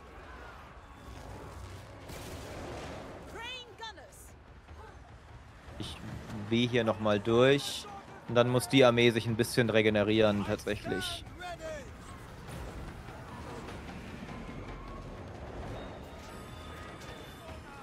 Wir haben's. Jawohl! Boah, das war ordentlich. Holy shit. Das ich dachte, das würde leichter gehen. Ich dachte auch, ich dachte auch. Äh, wir haben sie auch ganz gut so im Ansturm dezimiert mit der Artillerie. Aber dann haben sie, ähm, wenn die Oger halt mal da sind, ne, dann ist ihre, ihre Kampflinie doch nochmal relativ Ja, stark. es ist halt rollendes Fleisch. Das rollt Ja, äh, erstmal, es ne? Das ist, ist halt. rollendes Fleisch, richtig. Ähm, aber wir haben es ja geschafft. Wir haben es ja geschafft. Und ich werde jetzt mal ein bisschen versuchen, diese Armee noch ein bisschen abzugraden. So, Lauf. Und dann. Oh, wir, kriegen Rollladen. den, wir kriegen den sogar noch weg hier. Hallo, Kobold. Gut, da verliere ich ein bisschen was, aber ist auch mal okay. Ich muss aber auch sagen, weil wir gerade über Verfilmungen und so gesprochen haben, also wenn ich jetzt ein Buch fertig kriegen würde und das würde sehr, sehr gut ankommen, dann würde ich mich eher dafür einsetzen, daraus ein Spiel als daraus einen Film zu machen. Mhm. Weil ich einfach finde, dass Story-based, also Story-driven Games sind eine bessere Aufarbeitung für die visuelle Darstellung von Geschichten als Filme, weil du einfach viel mehr Tiefgründigkeit und Plot in ein Game mit 30 bis 80 Stunden Spielzeit packen kannst, als in einen 2-Stunden-Film. Das stimmt. Ähm, wir müssen tatsächlich jetzt doch nochmal was führen, weil der will hier mir drei Einheiten Ja, wegnehmen. klar, ist kein zwei Ding. davon die Drachenwache. Ähm, Brandon Sanderson hat übrigens auch, der, der ist sehr aktiv auf Reddit, witzigerweise auch. Der hat mal irgendwie geschrieben, so, er würde CD Projekt Red die Lizenz für seine Bücher einfach schenken. Ähm, Lol. Weil Witcher, weil Witcher 3 das ist, wovon jeder Autor träumt an Umsetzung. Ähm, und äh, das fand ich, fand ich auch sehr amüsant. Und angeblich arbeitet er auch gerade an einem Computerspiel. Er hat bizarrerweise wohl recht guten Draht zu Epic Games. Nur eine ganz, eine ganz kurze Frage dazwischen gesprochen, m, auch ein bisschen eine zynische. Hat er das über CD Projekt Red vor Cyberpunk oder nach Cyberpunk gesagt? Ich glaube vor dem Release von Ah, okay. Cyberpunk. Ähm, und äh, ja, ähm, so, also der Plan wäre jetzt hier einfach diese Oger einfach wegzuschießen aus der Ferne, dass sie gar nicht rankommen. Jawohl. Äh, ich gebe dir einfach mal die ganz weit schießenden Sachen und ich selber nehme die Armbrustschützen und dann hauen wir die halt einfach hier weg. Die kommen ja gar nicht ran, glaube ich. Und Aber er genau. hat, das ist interessant, dass der einen Draht zu ähm, äh,